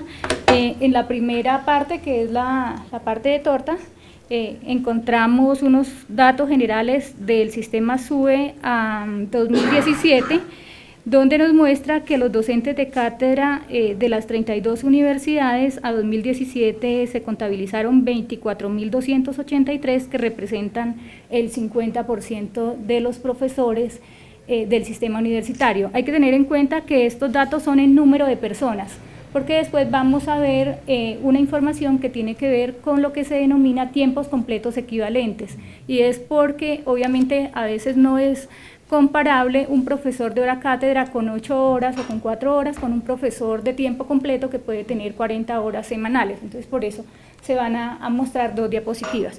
Esta primera es número de personas, entonces el número de personas, cátedra 50% para todo el SUBE eh, docentes de planta 27% y ocasionales 23%. Ah, en la parte de barras tenemos la información de la Universidad Pedagógica Nacional, eh, colocamos la información 2017, 2018 y 2019 primer semestre, es decir, la que podríamos comparar con el SUBE es la de 2017 eh, y es porque aún el SUBE no ha completado la información de 2018 en el sistema SNIES, que es como el sistema oficial de cifras eh, del país. Ahí podemos encontrar para el caso de 2017 2 eh, que la universidad en número de profesores de planta tenía el 20.3%, en número de ocasionales el 37 perdón, el 37 sí, el 37.9% y catedráticos el 41.8%. Si podemos apreciar eh, en las barras que continúan, encontramos hoy a 2019 que eh, lo que más ha crecido en este caso pues son los profesores ocasionales y eso pues tiene que ver con unas decisiones institucionales en relación con eh, incrementar la cantidad de profesores que se vinculan por tiempos completos en lugar de cátedra. Eso pues entre otras cosas favorece digamos los procesos académicos de la universidad. En la siguiente diapositiva, como les contaba, eh, es información pero traducida a lo que se denomina tiempos completos equivalentes. Entonces ahí encontramos que en el sistema SUBE eh, la cátedra es el 40%, eh, los ocasionales el 27% y la planta el 33%. Para el caso de la pedagógica, en la segunda barra de izquierda a derecha, encontramos 2017-2 el 28.7% de planta, el 51.7% de ocasionales y el 19.6% de cátedra. Esto como para tener una, información general, digamos, de cómo está este tema en particular. Ahora pasamos eh, ya de manera específica al presupuesto. Estos datos que se encuentran allí reflejan la situación presupuestal de la universidad a 31 de mayo de 2019. la barra que corresponde o la columna que corresponde a 2018 son datos de información de ejecución real de los recursos y la de 2019 es la proyección que en este momento se tiene para eh, el presupuesto de la vigencia. Cabe pues aclarar que eh, durante el transcurso se pueden hacer modificaciones que pueden ir variando, pero estas son las cifras que están a 31 de mayo. Entonces encontramos que eh, la primera fila que aparece es los gastos de funcionamiento, donde podemos encontrar que en este momento la universidad tiene un presupuesto apropiado para 2019 de 112.533 millones frente a 111.000 471 eh, en 2018, es decir, es un presupuesto de funcionamiento muy cercano. En la segunda eh, fila encontramos los gastos de personal, que en total para 2019 se proyectan en 95.116 y en 2018 los gastos totales se registraron en 83.398. Está subrayado por la siguiente razón, ese es el rubro que más eh, ha cambiado en relación con 2018 tiene un cambio en valores absolutos de 11.719 millones de pesos. Ahora, eh, quiero solo que tengan presente esa cifra para poder, digamos, entender un poco después una información adicional que voy a dar. En gastos generales, encontramos para 2019 un proyectado de 15.200 millones, frente a 2018 14.040 millones. En transferencias corrientes, que recoge ahí los asuntos de bienestar y otras transferencias que tiene que hacer la universidad. Eh, para 2019, 1.282 millones. Y en gastos de comercialización y producción, que es todo lo que tiene que ver eh, con los procesos de asesoría, extensión, centro de lenguas y otros, eh, también pues tenemos los apropiados que se pueden revisar en la cifra que aparece y los gastos de inversión finalmente. Esto nos lleva a un presupuesto total para 2019 de 135.474 millones, sin contar el proyecto Valmaría, que aparece luego registrado por 26.448 millones y la proyección inicial sobre recursos adicionales que espera la universidad para inversión de acuerdo con eh, la expectativa que se tenía más o menos a comienzos de diciembre del año pasado, donde se había anunciado para las universidades un monto de 500 mil millones. No obstante, lo que sabemos es que después en el acuerdo del 14 de diciembre, digamos, esto varía y hace que la expectativa pues, que tenemos hoy baje realmente a que la universidad no, no, no proyecte esa cifra, sino solamente 2.200 millones porque en la inversión eh, está distribuida en los cuatro años. Para el primer año eh, se tienen 100 mil millones de inversión nueva, para el segundo año creo que 200 mil millones y para el tercer y cuarto año está distribuido en 250 y 300 para completar los 850 mil millones de inversión que se acordaron en el marco del acuerdo entre el presidente y las mesas de diálogo, las, las mm, plataformas estudiantiles. Esto nos lleva a que en 2019 tengamos en este momento o a 31 de mayo un presupuesto total de 168.497 millones de pesos. Bueno, eh, la siguiente diapositiva tiene que ver un poco entonces con eh, lo que les comentaba del crecimiento que se refleja hoy en los gastos de personal.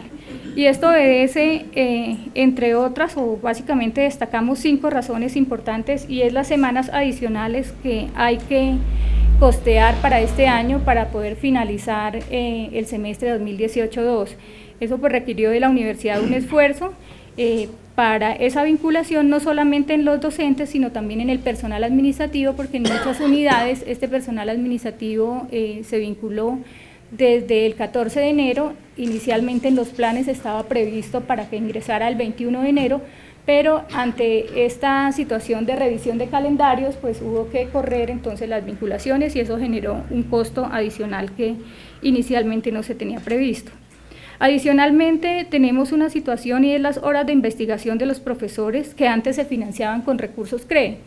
Eh, al terminar la, pues la, fuente CREE, la universidad tiene que volver a asumir con el presupuesto eh, de funcionamiento esas horas y eso presiona, digamos, el costo en las nóminas el personal supernumerario y contratista de bienestar y del el grupo de orientación y acompañamiento estudiantil también eh, a través del el CRE y de los planes de fomento a la calidad se venían financiando con este tipo de fuente y al finalizar pues también hay que asumirlo entonces con el funcionamiento. El incremento salarial y los nuevos puntos en las nóminas de el incremento salarial pues para toda la todos los funcionarios, incluidos los profesores, pero también en la nómina docentes pues hay que proyectar nuevos puntos que los profesores obtienen durante cada vigencia eh, de acuerdo con la asignación que el CIAR pues eh, apruebe. Y finalmente tenemos también otra incidencia importante en el costo del personal para 2019 y es la nueva convención colectiva que se suscribió con los trabajadores oficiales, eh, pues que también hay que considerarla. En ese orden de ideas, entonces, son estos los puntos que, justifican o que de alguna manera eh, representan ese incremento de 11 mil millones en los costos de personal para la vigencia 2019. Eh, ¿De dónde entonces la universidad puede financiar este nuevo costo? Eh, es el cuadro que está en la parte derecha. Ahí pues la universidad obtuvo unos recursos importantes de la gestión con las cooperativas, de los 3.344 millones que se obtuvieron por esa gestión, 2.672 millones se comprometieron para financiar actividades que tienen que ver con los procesos académicos, entre ellos eh, la renovación de las acreditaciones de los programas, los tiempos para la autoevaluación para la acreditación, equipos integrales de docentes, entre otros. Eh, los saldos de vigencias anteriores que la universidad eh, no ejecutó porque o llegaban al final de la vigencia o porque en un esfuerzo pues, de racionalizar el gasto eh, se dejaron también como, como un saldo en la caja por 5.218 millones, unos excedentes de asesoría y extensión de vigencias anteriores por SARES que cuando terminan se liquidan y quedan a favor saldos para la universidad el ajuste a la base presupuestal del 3.5% con base en el acuerdo, que corresponde a 2.221 millones. Este recurso ya fue eh, girado a la universidad hace aproximadamente una semana y eh, pues ya está también contabilizado en el presupuesto. Y los nuevos recursos que tiene la universidad por gestión propia a través de convenios específicamente que se proyectan en 1.321 millones con estas sumas es que se está financiando ese gasto adicional en los costos de personal por 11 mil millones de pesos aproximadamente. Eh, ¿Qué posibilitó entonces que la universidad eh, comprometiera esas cinco semanas? Ahí lo que se hizo fue una liberación de fuentes, es decir, al financiar con recursos de cooperativas, 2.672 millones en horas de programa, se libera, digamos, un poco la fuente que se tenía y se logra entonces con ese recurso financiar las nuevas semanas que este año hubo que contratar para poder terminar el semestre. Bueno, eso como para eh, dar un panorama muy general sobre cómo está en este momento el presupuesto. El presupuesto en este momento pues está equilibrado, pero como hemos dicho en otros momentos, siempre hay que estar monitoreando de manera permanente para que la universidad pues, no tenga, digamos, déficit en caja. Eh, bueno, en esta, en esta siguiente diapositiva eh, tenemos una proyección de los recursos que espera recibir la universidad por ajuste a su base presupuestal en las próximas cuatro vigencias, incluido 2019, eh, según el acuerdo con eh, el presidente y las plataformas estudiantiles. En el primer escenario, pues es eh, con la primera parte de la tabla, es cómo estaría la universidad sin ese acuerdo. Esta diapositiva pues ya se ha presentado en otros momentos. En la segunda parte es cómo está la universidad con el acuerdo y teniendo en cuenta eh, un proyecto, o un proyecto no, una, un esquema de distribución eh, que se está acordando entre el SUE, las 32 universidades y el gobierno para distribuir ese ajuste a la base presupuestal. Eh, para este año, que es la segunda columna, encontramos en la fila final que es lo que ya le asignaron a la universidad para ajuste a esta base, 2.226 millones, para el próximo 2020, pues tenemos esta proyección y lo tenemos porque realmente aún no está claro cuáles serán los criterios de distribución. que asumimos para esta proyección que sería el mismo criterio que se aplicó para 2019, pero eso está en discusión. En ese orden de ideas eh, esperaríamos aproximadamente 4.900 millones de ajuste a la base presupuestal para la próxima vigencia para 2021 8.343 millones y para 2022 eh, 12.000. Hay que tener en cuenta que cada vez que se proyecta esto se hace sobre la vigencia anterior porque la base se va indexando, digamos, con el último valor de, de asignación. Acá es una información, entonces, cómo estábamos en 2018 en nuestra base presupuestal de funcionamiento, 76.040 millones, cómo es la base presupuestal para 2019, el área eh, gris es cómo estábamos y el área que está en color azul y naranja es lo que crece. La parte azul corresponde al crecimiento por IPC, que fue 3.18%, corresponde a 2.275 millones, y los 2.226 millones por ajuste presupuestal por ajuste a la base presupuestal. Cabe aclarar pues que obviamente ya eh, se llegó a un acuerdo nacional en que el ajuste a los salarios es de 4.5%, es decir, si lo comparamos con el ajuste por IPC explícitamente estaríamos bastante por debajo, pero pues parte digamos de esa de ese proceso implica que también eh, el gobierno ha ido reconociendo esas dificultades financieras que tradicionalmente tienen las universidades de acuerdo con el esquema que está establecido en el artículo 86 de la ley 30.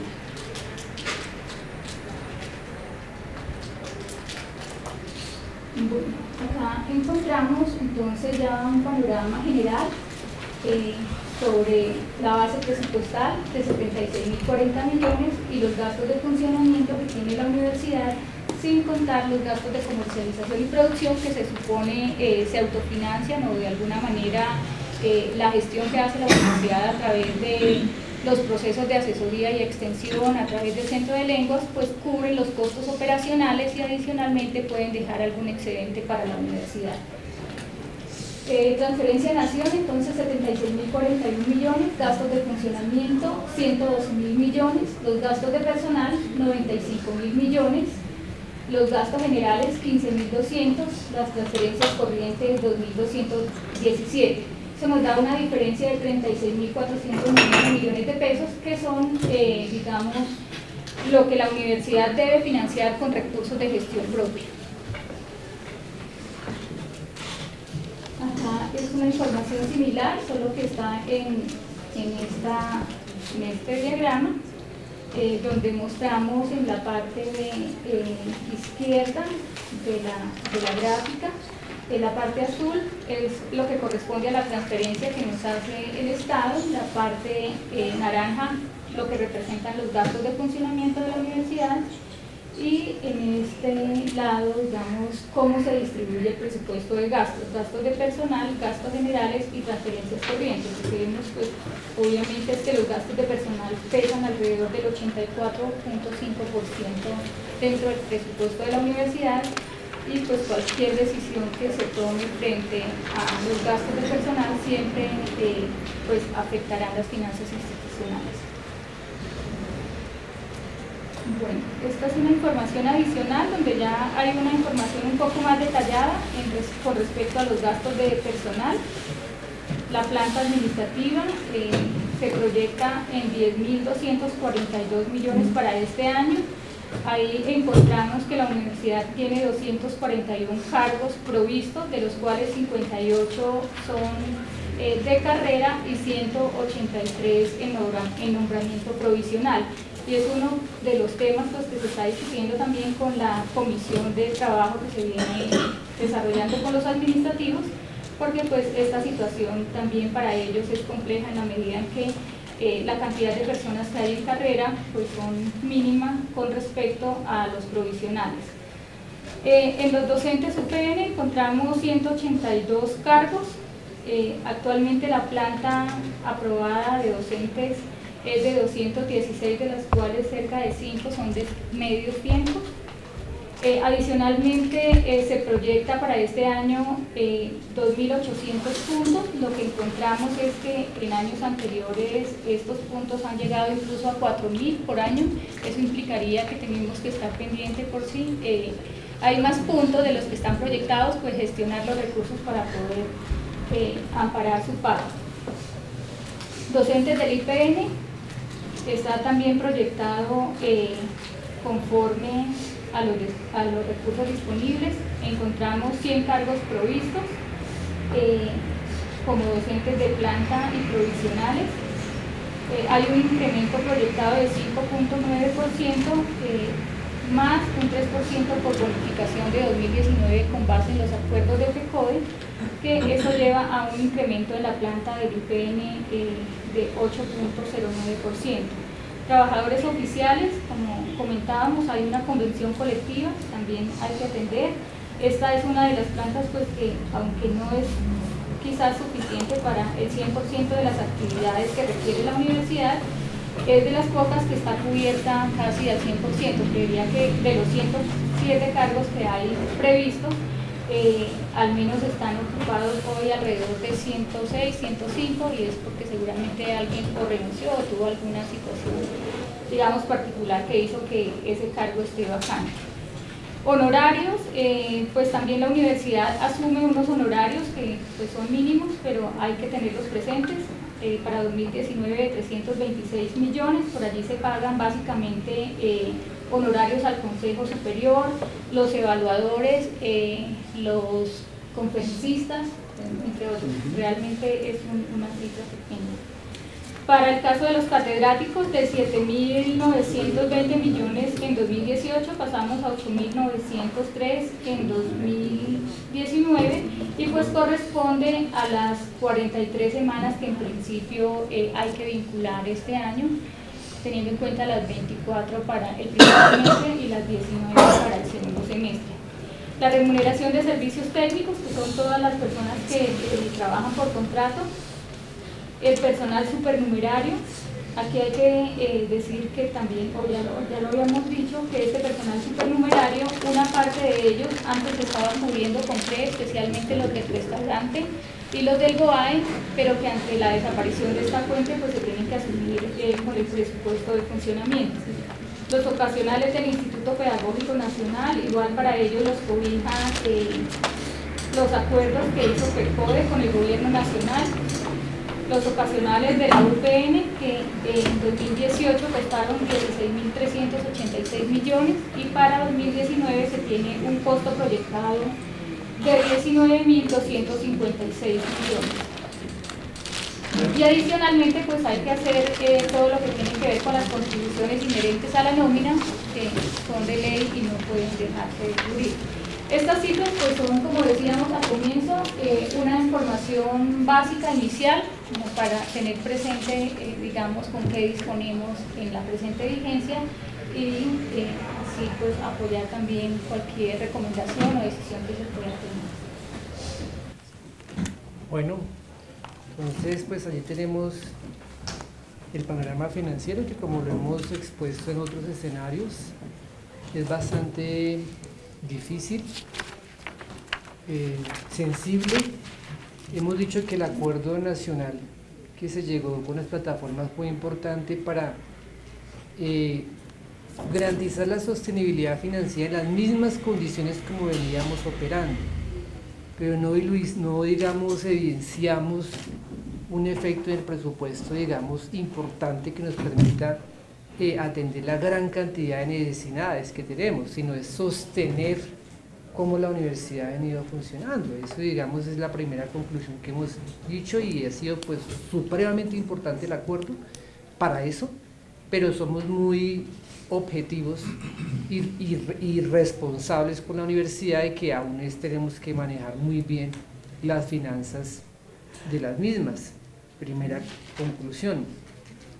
Segunda conclusión, de todas maneras hubo, el movimiento también posibilitó ya en la práctica pues un mejoramiento eh, para el 2019 por lo menos de la vinculación de los profesores vocacionales porque tuvimos una vinculación de 24 semanas en el 2019 para terminar lo del 2018-2 y lo del 2019-1, diciendo que pues teniendo claro que el 2018 se pagó todo lo que estuvo, fue concertado para los ocasionales, es decir, en la práctica y en términos financieros hubo una ganancia en relación con ese tiempo de vinculación. Y en el marco de las garantías que la Universidad Pedagógica plenamente las ha dado en ese tema laboral otra conclusión que tenemos allí. Eh, pero bueno, con ese panorama no estamos diciendo que no se pueda hacer nada. Es bajo ese panorama que tenemos que pensarnos cómo es que vamos a, a, mejorar las condiciones de los profesores ocasionales, cómo es que vamos a, a entender el tema de la formalización, es decir, eh, allí solo lanzo una idea para no discutirla, insisto, sino eh, porque se ha planteado también una pregunta que hubo de qué se entiende la formalización. Eh, hay varias concepciones frente a la formalización y la hemos escuchado a lo largo del país en muchos escenarios. Eh, hay una concepción que considera que la formalización tiene que ver con el fortalecimiento de las plantas, es decir, buscar mecanismos para hacer concursos públicos de mérito y fortalecer las plantas del profesorado. Hay otra concepción que tiene que ver con aumentar los tiempos de vinculación de los ocasionales, por ejemplo. Hay otras concepciones que tienen que ver con eh, buscar que los ocasionales sean, por ejemplo, una especie de provisionales. Han existido discursos. Es decir, hay varias concepciones frente a lo que significa el tema de formalización. Pero más allá de las concepciones, es un escenario jurídico que queremos ubicarlo y financiero concreto para poder ver qué es lo más viable, ¿sí? más allá de esas concepciones múltiples que hay. Por eso quisimos centrar la atención en presentarle esos escenarios para que con el principio de realidad podamos pensar objetivamente qué podemos hacer por la universidad en este tema. Entonces, pues abrimos eh, la, digamos, la intervención para preguntas en este punto. Si hay alguna pregunta aclaratoria, también hay que decir que, fíjense que no solamente fue el acuerdo nacional el que nos ha posibilitado mantener el funcionamiento de la universidad, la gestión que hicimos con cooperativas fue vital, como lo mostró, que hizo la universidad, como lo mostró Janet, pues gran parte de los 3.300 millones, 2.600 algo, pues se destinaban a temas de funcionamiento directo para el tema de renovación, de acreditación, para el tema de los programas y nos permitió aliviar fuentes de funcionamiento para lo que necesitábamos amortiguar, como ya lo explicó Janet. Entonces, no solamente como universidad participamos en la movilización porque también estuvimos haciendo parte en las marchas, aquí en la universidad acompañamos, eh, sino también nos movimos y gestionamos esos recursos para poder amortiguar el funcionamiento de la universidad. Eso también hay que reconocerlo y valorarlo. Entonces, eh, pues si hay alguna inquietud, pregunta, profesor Ancísar. Una, pregunta para, para todos, pero especialmente para, los compañeros de, de y, y Leonardo Castellano, es que en una asamblea de las últimas que tuvimos el año pasado, estuvimos discutiendo eh, cuál es el, digamos, cuál es el patrón de los profesores universitarios. Entonces, eh, un profesor nos decía, el patrón, nosotros somos empleados del Estado. Y entonces el Estado dice, no, ustedes son empleados de la universidad pedagógica.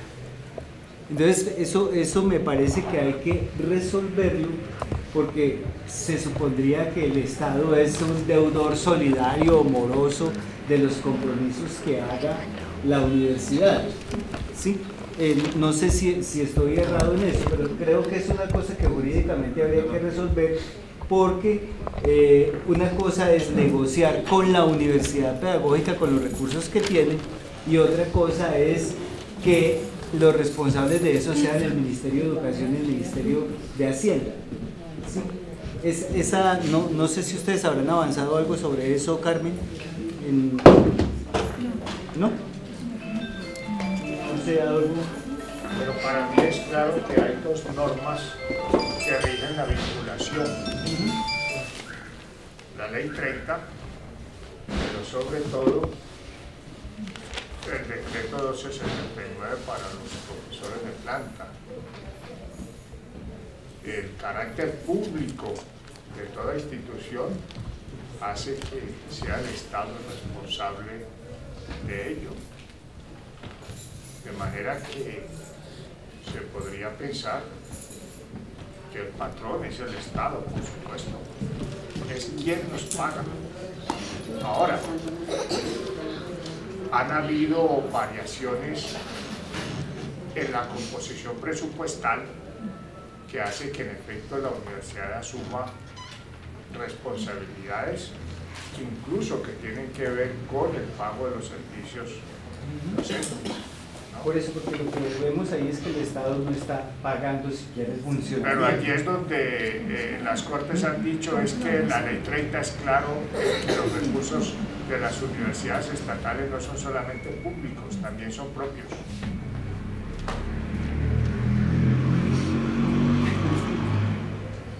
Ahora, perdón, eh, yo diría que de todas maneras el Estado tiene que concurrir en casos en donde la situación sea de tal índole que obligue a su participación.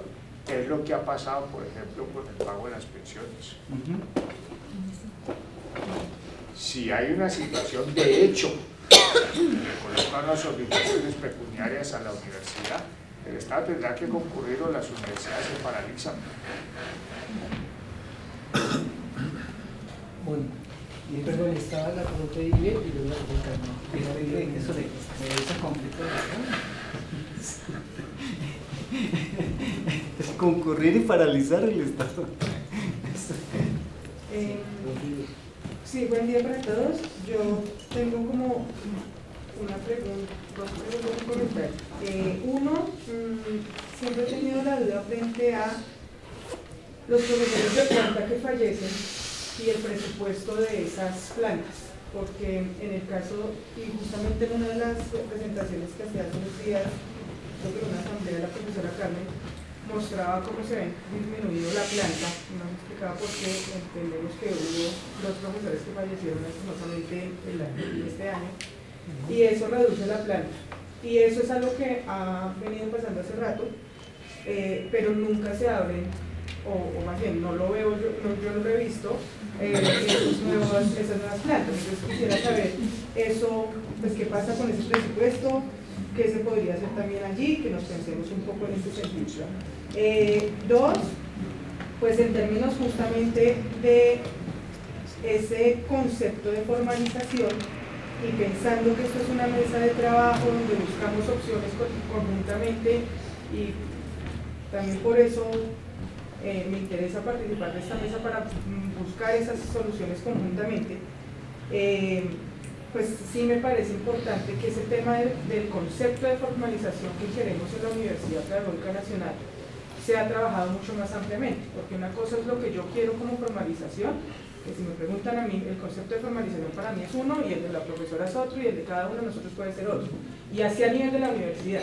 Entonces, en esa, en medida me parece que sí, eh, esta mesa debe, iniciar desde un, desde un concepto de formalización un poco eh, que se consolide a partir de la participación de todos los profesores, que sea un, un lugar común de inicio para esta mesa, porque no es lo mismo trabajar por una provisionalidad trabajar por un concurso de medios. Y desde allí, pues claramente los presupuestos, claramente lo jurídico nos va a cambiar completamente. Entonces sí me parecería que podríamos hacer, no sé, propongo yo una consulta virtual de pronto a los profesores, eh, de pronto también podríamos buscar esa, esa representación de los, de, los profesores por cada una de las licenciaturas en esta mesa, que sea una cosa definida en cada una de las reuniones de profesores que se tienen al interior de cada, de cada licenciatura, no sé, algo por el estilo que nos permita pararnos desde un lugar común. Eh, y lo tercero, justamente en esa medida, pues pensando que esto es una mesa de trabajo y buscando esas opciones, me parece clave que nos pues como ya lo decía, que nos faciliten la información, eh, pero también pues toda esa información que nos, que nos ayuda a entender un poco también los números y lo jurídico. Porque finalmente eh, sí creo que la tarea está en empezar a estudiar todos estos documentos y empezar a buscar esas soluciones y empezar a buscar también esos vacíos legales que el profesor Alexander mencionaba, porque pues también la idea es que entre todos estudiemos y veamos las posibilidades de eh, pedir al Estado, pedir a la universidad o pedir a quien haya que pedirle pues, las condiciones necesarias para, para los profesores y, en, todas las, pues, en todas las formas, o sea, coordinadores catedráticos y, y de planta también, claramente. Gracias. Sí, bueno, yo quiero opinar sobre tres puntos. El primero, pues ya que se mencionó una pregunta eh, que hizo el profesor César, eh, creo que es pertinente tener presente que eh, la financiación de las instituciones, las ideas públicas, pues está establecida en la ley 30 eh, y eso es lo que explica precisamente el no cumplimiento, no cumplimiento por parte del Estado pero que está escrito en la ley 30, por eso es que llamamos en el momento del año pasado a reformarla, eso explica la deuda histórica. O sea, por eso es que fue necesario, deuda que hay que reconocer, algunas instituciones, entonces la nuestra siempre eh, se ha negado a reconocer ese que nosotros llamamos déficit no reconocido precisamente, porque es claro, o sea, de acuerdo a lo que está en la ley 30, pues no se cubre la ampliación de cobertura, etcétera, los puntos salariales, etcétera. Eso llevó cosas como lo que ocurrió el semestre pasado. Pero ¿por qué lo aclaro? Porque eso no significa, a mí me preocupa que a veces, eh, con todo respeto digo, se puede confundir como que entonces no, la reclamación no la presentamos ante cada institución, sino directamente ante el Estado.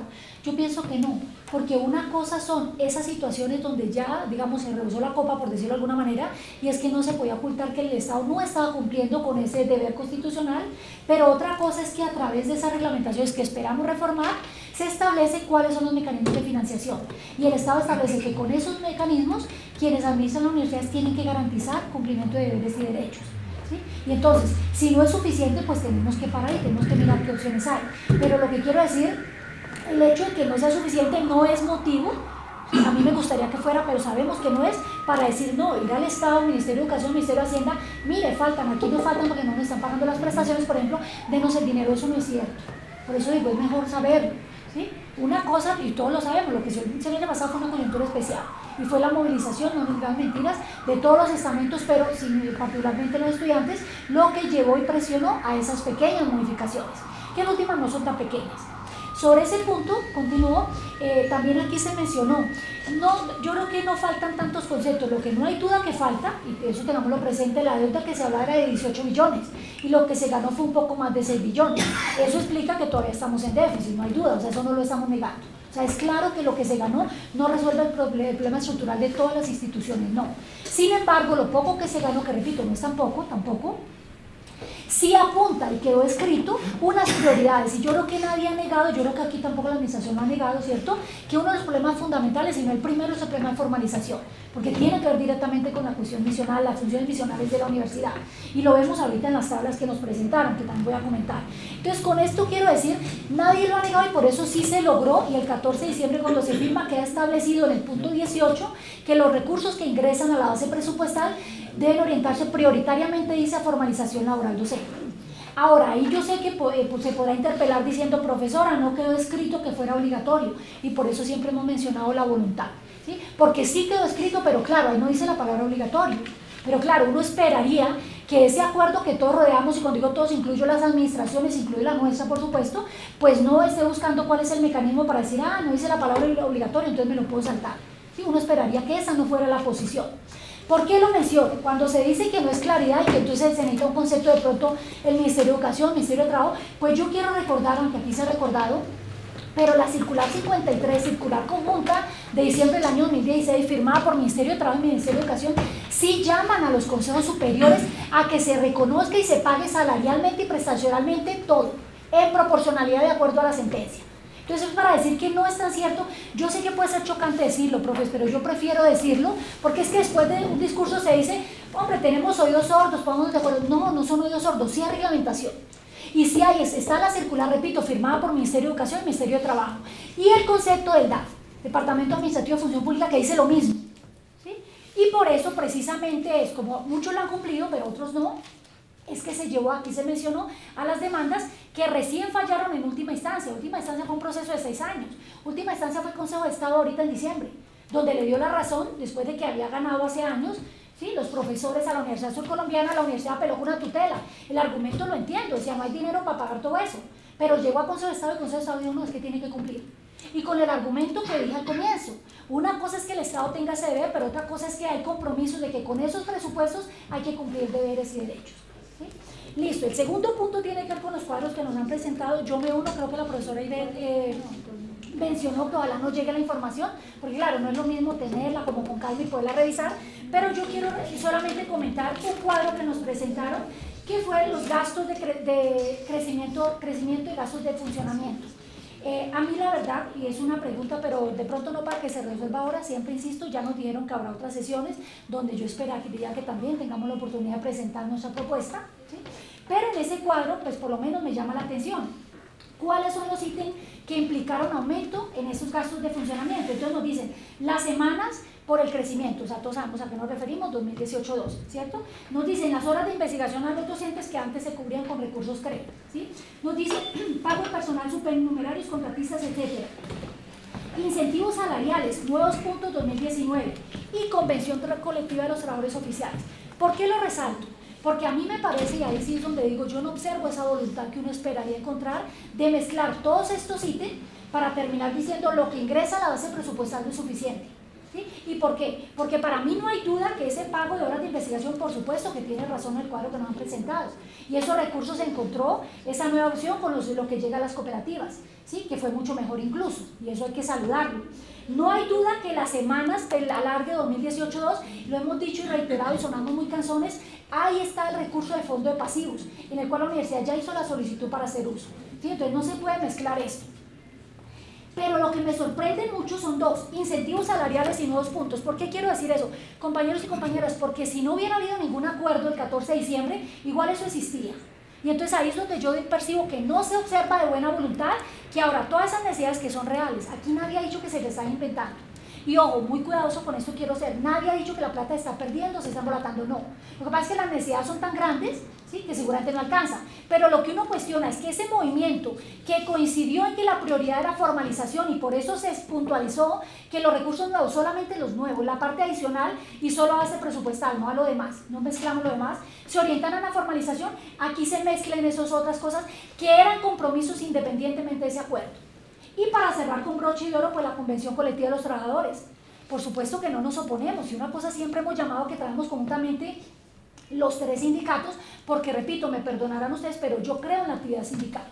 Y no creo con todo respeto en esos cuestionamientos que se dicen, pero ¿cuántos afiliados tiene ASPU? Si representa, puede decidir, es que es un derecho constitucional, repito, y las negociaciones colectivas que están consagradas en el artículo 55 no pone en condición el número de miembros del sindicato. El sindicato negocia y es de obligatoria cumplir y en ninguna institución, ni pública ni privada, el, el sindicato es mayoritario.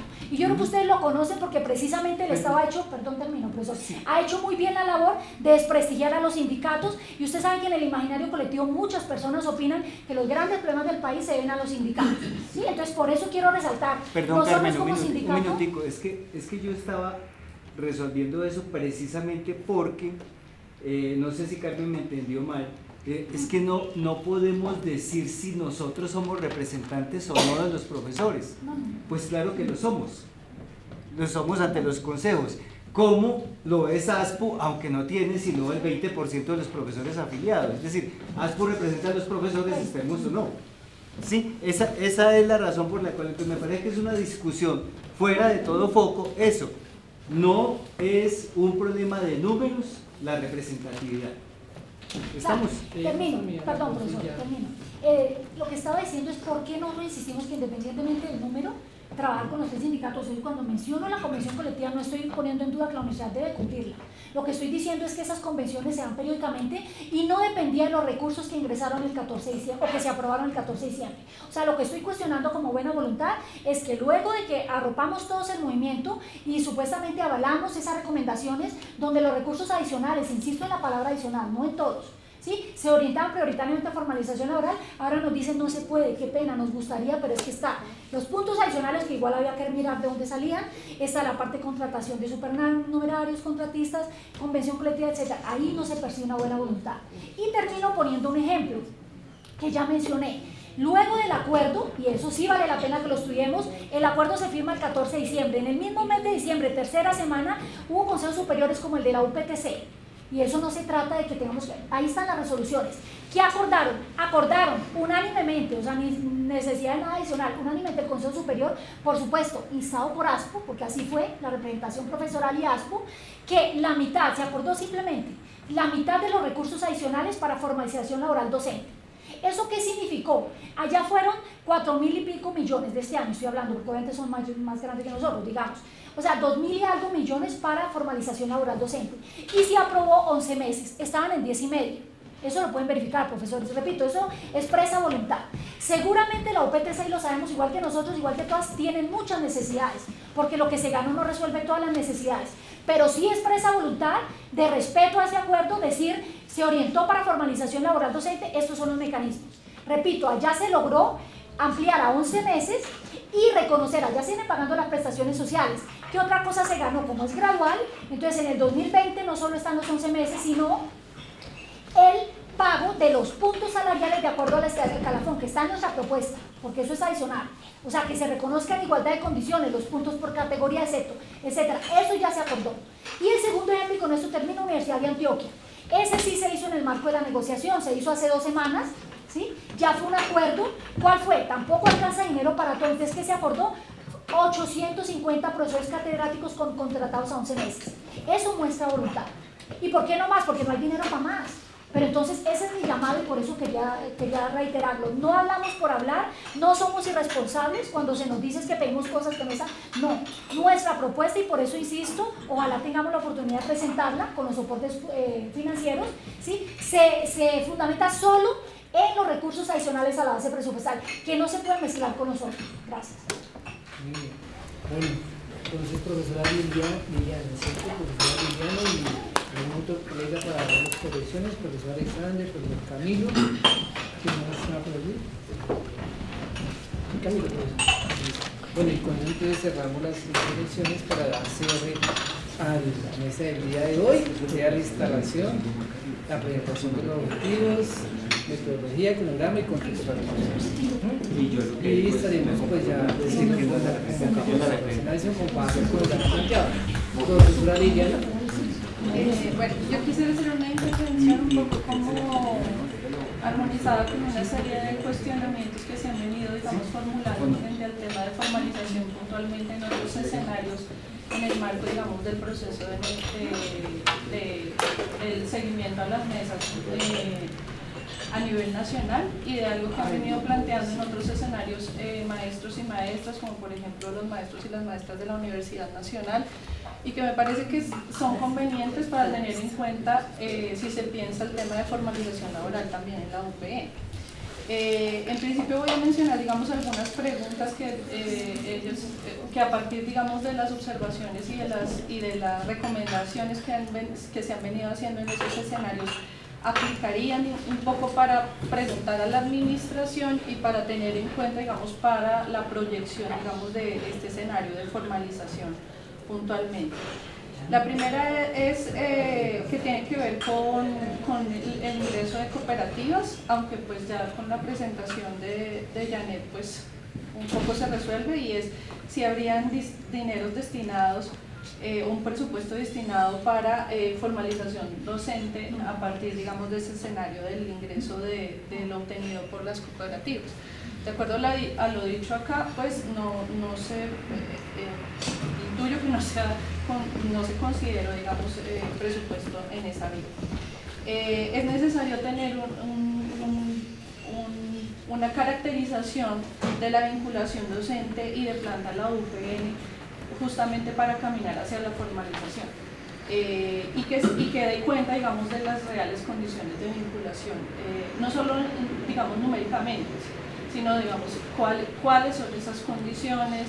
Eh, hoy se nos hace, digamos, se nos presentó, digamos, un marco más que la formalización de cómo es, se tienen en cuenta o no algunos criterios, digamos, de las leyes que hay a nivel nacional sobre vinculación docente. Sin embargo, la caracterización como tal del caso de la UPN me parece que es algo en lo que hemos insistido en, desde la, en la negociación pasada, por ejemplo, que pedimos información y que eh, pues todavía hace falta ahondar en ello.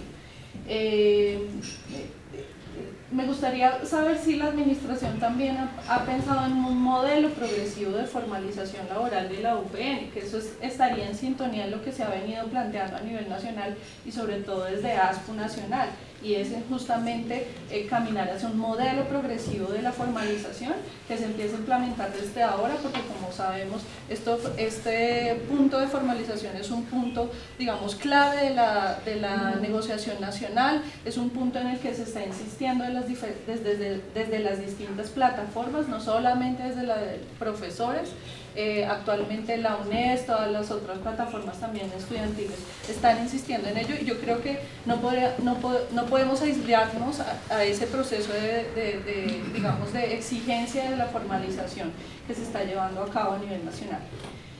Eh, en esa vía me gustaría saber, o nos gustaría, o habría que tener en cuenta, digamos, algo que, también plantean las y los maestros en este, en este contexto y es la hoja de ruta de la formalización progresiva, eh, pero para el caso puntualmente pues, eh, de la UPN. Y eh, en lo otro, como reiterar algo que menciona eh, Carmen, y es que justamente eh, cada vez que nosotros venimos a estos escenarios en donde se nos presenta como el, como el tema del financiero, hay algo que, en lo que nosotros reiteramos y que me parece que no debemos dejar de hacerlo, y es el déficit acumulado o el déficit no reconocido de funcionamiento, que incluye justamente, o que debe incluir la situación laboral docente y la estimación o la proyección con relación a eh, la planta de la universidad. Eh, y ya digamos como más eh, a, partir de lo que se ha dado en esta, en esta instalación de la mesa que tiene un carácter académico, reflexivo, según lo que el, profesor Leonardo plantea, yo sí pensaría en insistir junto, pues como, como lo mencioné en el comunicado con mis compañeros y que me parece que es algo que no deja de ser académico, que no deja de ser serio. Eh, y es en el tema de la democratización de este espacio, justamente porque es que estamos tratando un punto que según lo que entiendo es central, digamos, eh, sobre todo para las vidas de los y las profesoras que están en condición de ocasionalidad y de catedral.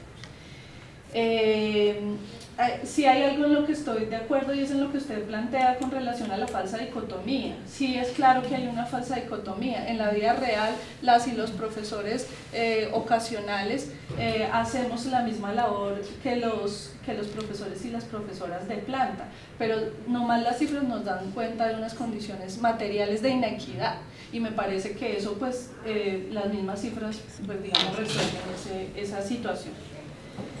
Eh, en cuanto a la, conceptualización de formalización, yo creo que no es tan relativo. El, mismo ASPU a nivel nacional ha venido adelantando, eh, digamos, por muchos años, una forma de entender lo que es la formalización docente, que tiene que ver con el reconocimiento, por un lado, de la ilegalidad de la forma de contratación nuestra. ¿sí? Eh, y hablarlo así con esos términos, es una condición ilegal. Es una condición ilegal mantener una forma eh, de contratación de ocasionalidad a muchos años, no en los términos en los que lo plantea la ley. Eh, y por otro lado, eh, precisar en términos como que nosotros no tenemos un proceso, tenemos una desvinculación a, a, mitad de año y a final de año, que hace que se traduzca en condiciones reales como por ejemplo que las que muchos maestros y maestras hoy día no tengan, eh, por ejemplo, no se cumpla con, con, la posibilidad de pensionarse, personas que ya tienen la edad, ¿sí? Que no se cumpla con la posibilidad, digamos, de acceder a un servicio médico para eh, eh, realidades de, de, familias enteras, digamos, en esos, en esos tiempos de receso, entre comillas, desvinculación, lo llamamos nosotros. Entonces yo creo que si caminamos hacia un ejercicio de reconocimiento, como usted lo ha planteado, profe, habría que eh, reconocer justo en los términos en que nosotros por años hemos venido planteándolo y es justamente en, precisar en esos términos y en hablar de las cosas como son.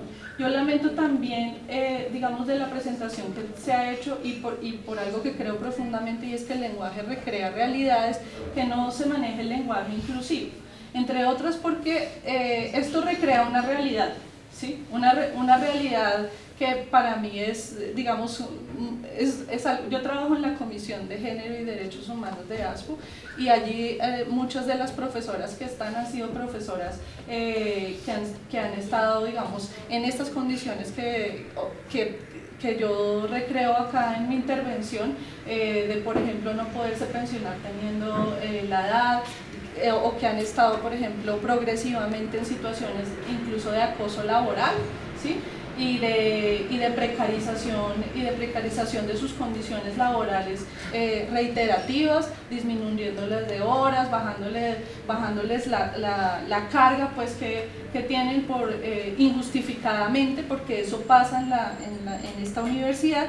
Y, eh, y, me, y, y, creo que cuando, que es justamente el hecho de que nosotros, nosotras insistamos en que, en que el lenguaje inclusivo recrea una realidad, pues se, está dando cuenta, por ejemplo, en este, en este tipo de, de, problema que se está hablando acá y es justamente cómo hay una universidad eh, que, por ejemplo, en nuestro caso, tiene una situación, digamos, de feminización también de, la pobreza, de feminización de las condiciones, eh, y, y, cuando hablo de ello no hablo solamente que recaiga sobre mujeres, sino hablo en una, de una estructura, digamos, un poco más general en la que muchas mujeres que han, venido, que han llegado a ASPO a denunciar sus condiciones eh, eh, justamente son eh, la mayoría pues ocasionales y han sido pues reiterativamente precarizadas. Entonces pues también como una invitación a, o una, una una, sí, una invitación, una interpelación a que, se, a que se reconozca de manera profunda realmente algo que, en lo que nosotros hemos venido insistiendo, que tiene que ver no solamente pues, con una mirada eh, más equitativa, sino también más paritaria de nuestras condiciones reales. Listo, profesor. Gracias, profesor Alexander. Bueno, buenos días.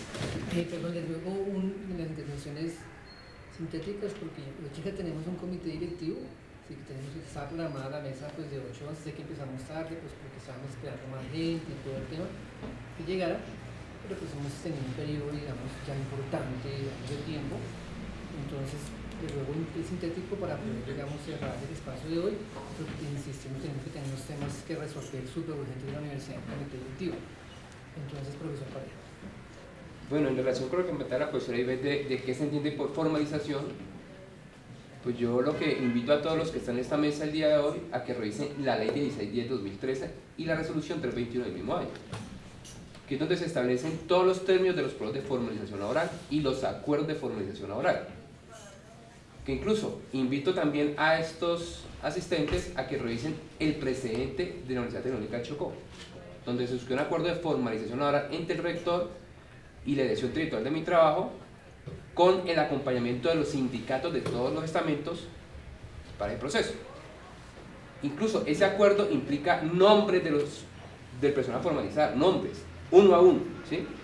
En ese acuerdo se formalizaron 150 profesores, ocasionales catedráticos, gradualmente y con unos términos muy concretos. ¿sí? Incluso también se abrió concurso de méritos, sí, se abrió concurso de méritos, pero con unas condiciones especiales para, para los aspirantes. ¿Qué se formaliza? Se formaliza lo informal, ¿sí? Lo que está, lo que está contratado irregularmente de manera ilegal. La sentencia C06 del 96 estableció que invitó, hizo un llamado a la universidad a que hicieran un uso razonable de esa figura establecida en la ley, ¿sí? Hoy, después de 25 años, no se ha dado efectivo y pleno cumplimiento a esa sentencia. Y precisando, la planta docente de la UPN está congelada desde el 1993 en ese momento se establecieron en 212 plazas, hace 2-3 años se, incrementó en 4 plazas, y hoy 2019 no hemos ni siquiera cubierto la planta docente requerida hace un cuarto de siglo. ¿sí? Tenemos 182 de 216. Entonces ni siquiera hemos cubierto la planta docente requerida hace un cuarto de siglo cuando la cobertura era mucho menor en ese momento. Entonces ahí hay un déficit que ha recaído en la precarización laboral de los profesores mal llamados ocasionales catedráticos y quiero leer una propuesta del plan de esta administración. Se trabajará sin descanso por la formalización de los profesores mal llamados ocasionales catedráticos, hecho que equivale a la ampliación del tiempo de su contratación con las correspondientes garantías prestacionales y el reconocimiento pleno de su papel como profesores universitarios en equidad con los de planta. Y también quiero leer una de las recomendaciones en la resolución de la acreditación institucional para formar una pregunta que le quiero a la administración en este sentido. La recomendación reza, fortalecer el tipo de contratación de los profesores de planta a 12 meses o tiempo indefinido y disminuir la contratación de catedráticos. Aquí hay una imprecisión en esa recomendación porque básicamente cobija en procesos de planta tanto a los de plantas reales como a los ocasionales. Claramente cuando indica a 12 meses, ahí hace referencia a los procesos ocasionales. ¿sí? Entonces, yo quiero preguntar a la administración, ¿qué plan de acción tiene en este momento en el marco del trabajo de reacreditación de, calidad institucional para cumplir esta recomendación que hizo y los pares en la reacreditación de primera instancia? ¿sí? O sea, ¿qué está contemplando para precisar el cumplimiento de esa recomendación? Si vinculan a 12 meses a los ocasionales, ahí ya había una primera formalización transitoria. ¿sí? Ahí cabe perfectamente la propuesta de formalización transitoria y gradual.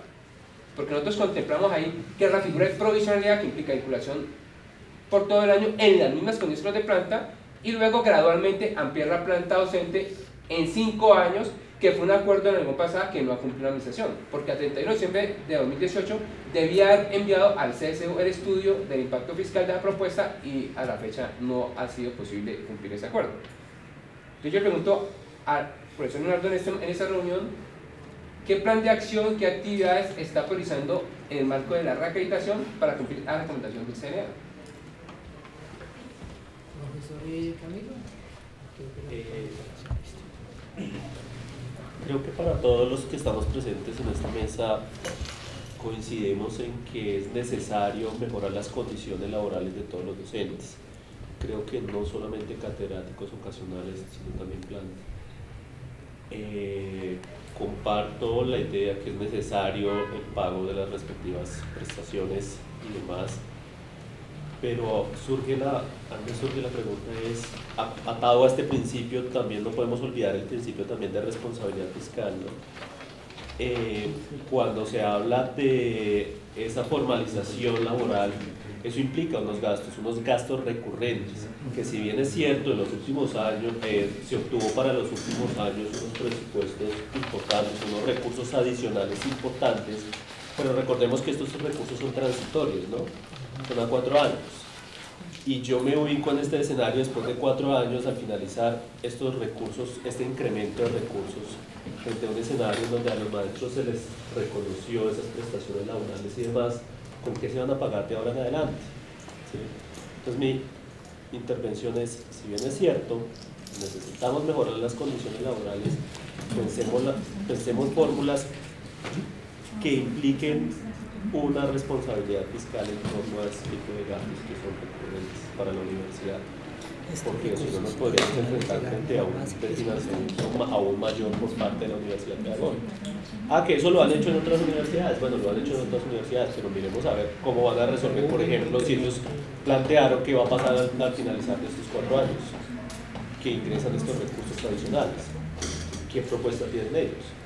Es como eso, está, dejaría yo esta Bueno, muy bien, pues nuevamente agradecemos la participación, primero que todo, ustedes sacar el tiempo como representantes profesores y como integrantes de la Junta Directiva de ASPO en este espacio, en esta convocatoria que hemos hecho, eso es muy valioso porque significa que estamos interesados en pensar la universidad, en aportar a ella y eso eh, quiero destacarlo. Eh, segundo, pues ya hemos dado cumplimiento a la instalación de la mesa, hemos presentado los temas centrales de ella. Y en relación con el último bloque de inquietudes, pues hay preguntas que ya son propias de, del debate, ¿no? Pues hay un bloque que hace relación con el tema de formalización, de cómo entendemos la formalización, creo que eso eh, va a ser como la pregunta de la próxima sesión eh, fundamental, pero responder esa pregunta necesariamente con las diferentes concepciones requiere de elementos jurídicos y financieros para poder resolverla, digamos, no, digamos que no hay un concepto, no es una definición, sino es una construcción que se hace conforme al análisis de la situación financiera, jurídica de las universidades públicas, no solamente la pedagógica, sino en Colombia, cómo es el panorama, ¿no? Entonces creo que esa pregunta queda allí, eh, eh, de hecho, clara, para que eh, la empecemos a abordar. También de, los documentos que vamos a organizar y remitir en relación con la sugerencia que han hecho a nivel normativo de varias leyes, ya pues el doctor Alan ha tomado nota y él nos va a ayudar en toda esta organización jurídica en conformación, en conformidad, perdón, con las sugerencias que han hecho varios de los asistentes a la mesa. Eh, bueno, hay preguntas ya pues que son de otro resorte, pues que no quiero profundizar en ellas, pero pues creo que el, esfuerzo que ha hecho la universidad de tener em, en este momento para el 2019 43 semanas de vinculación frente a 38 semanas que venía presentando en el 2018, ya constituye un ejemplo claro de lo que fue escrito el programa rectoral. No es discurso, es realidad, o sea, trabajamos bastante este 2019 primero para que pudiéramos terminar el 2018, para que siga el 2019, para garantizar las condiciones de los ocasionales. Es decir, eso ha sido un trabajo enorme que creo que hace parte de eso que está escrito ahí, de trabajar incansablemente por mejorar las condiciones. Por supuesto, eso no está resuelto. Creo que hay muchas preguntas que hay que seguir resolviendo, en, cómo vamos a atender el tema de la ampliación de la vinculación de las semanas, no estamos cerrados a eso, el tema de los concursos de planta que nos parece fundamental, pero y la pregunta también, una pregunta muy clave, y es, bueno, de esos temas de recursos adicionales, ¿cuánto vamos a destinar para formalización? Sí, pues eso podemos, vamos a mirar con, desde el punto de vista técnico, financiero, presupuestal, eso cómo es, es, posible o no es posible, ¿sí? Eh, en términos reales. Entonces, hay muchas preguntas que se nos han hecho, quedan allí pendientes. Eh, decir que eh, el tema de acreditación sí ha sido una prioridad. Nosotros habíamos previsto un concurso de planta, eh, digo nosotros porque hacía parte también de la anterior administración como decano de la Facultad de Ciencia y Tecnología y participé en la discusión del Consejo Académico de la anterior administración. Se ha aprobado un concurso de planta, pero que desafortunadamente no se pudo hacer. A eso se le sumarían las personas, por ejemplo, que fallecieron y eso también de, entrar en ese concurso de planta.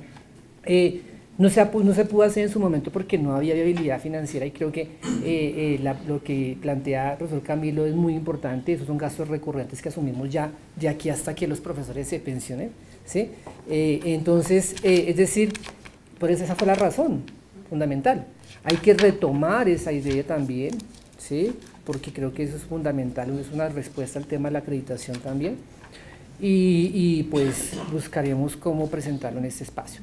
Entonces, muchísimas gracias por la atención y nos veremos en la próxima sesión de la mesa. Hasta luego, que estén muy bien.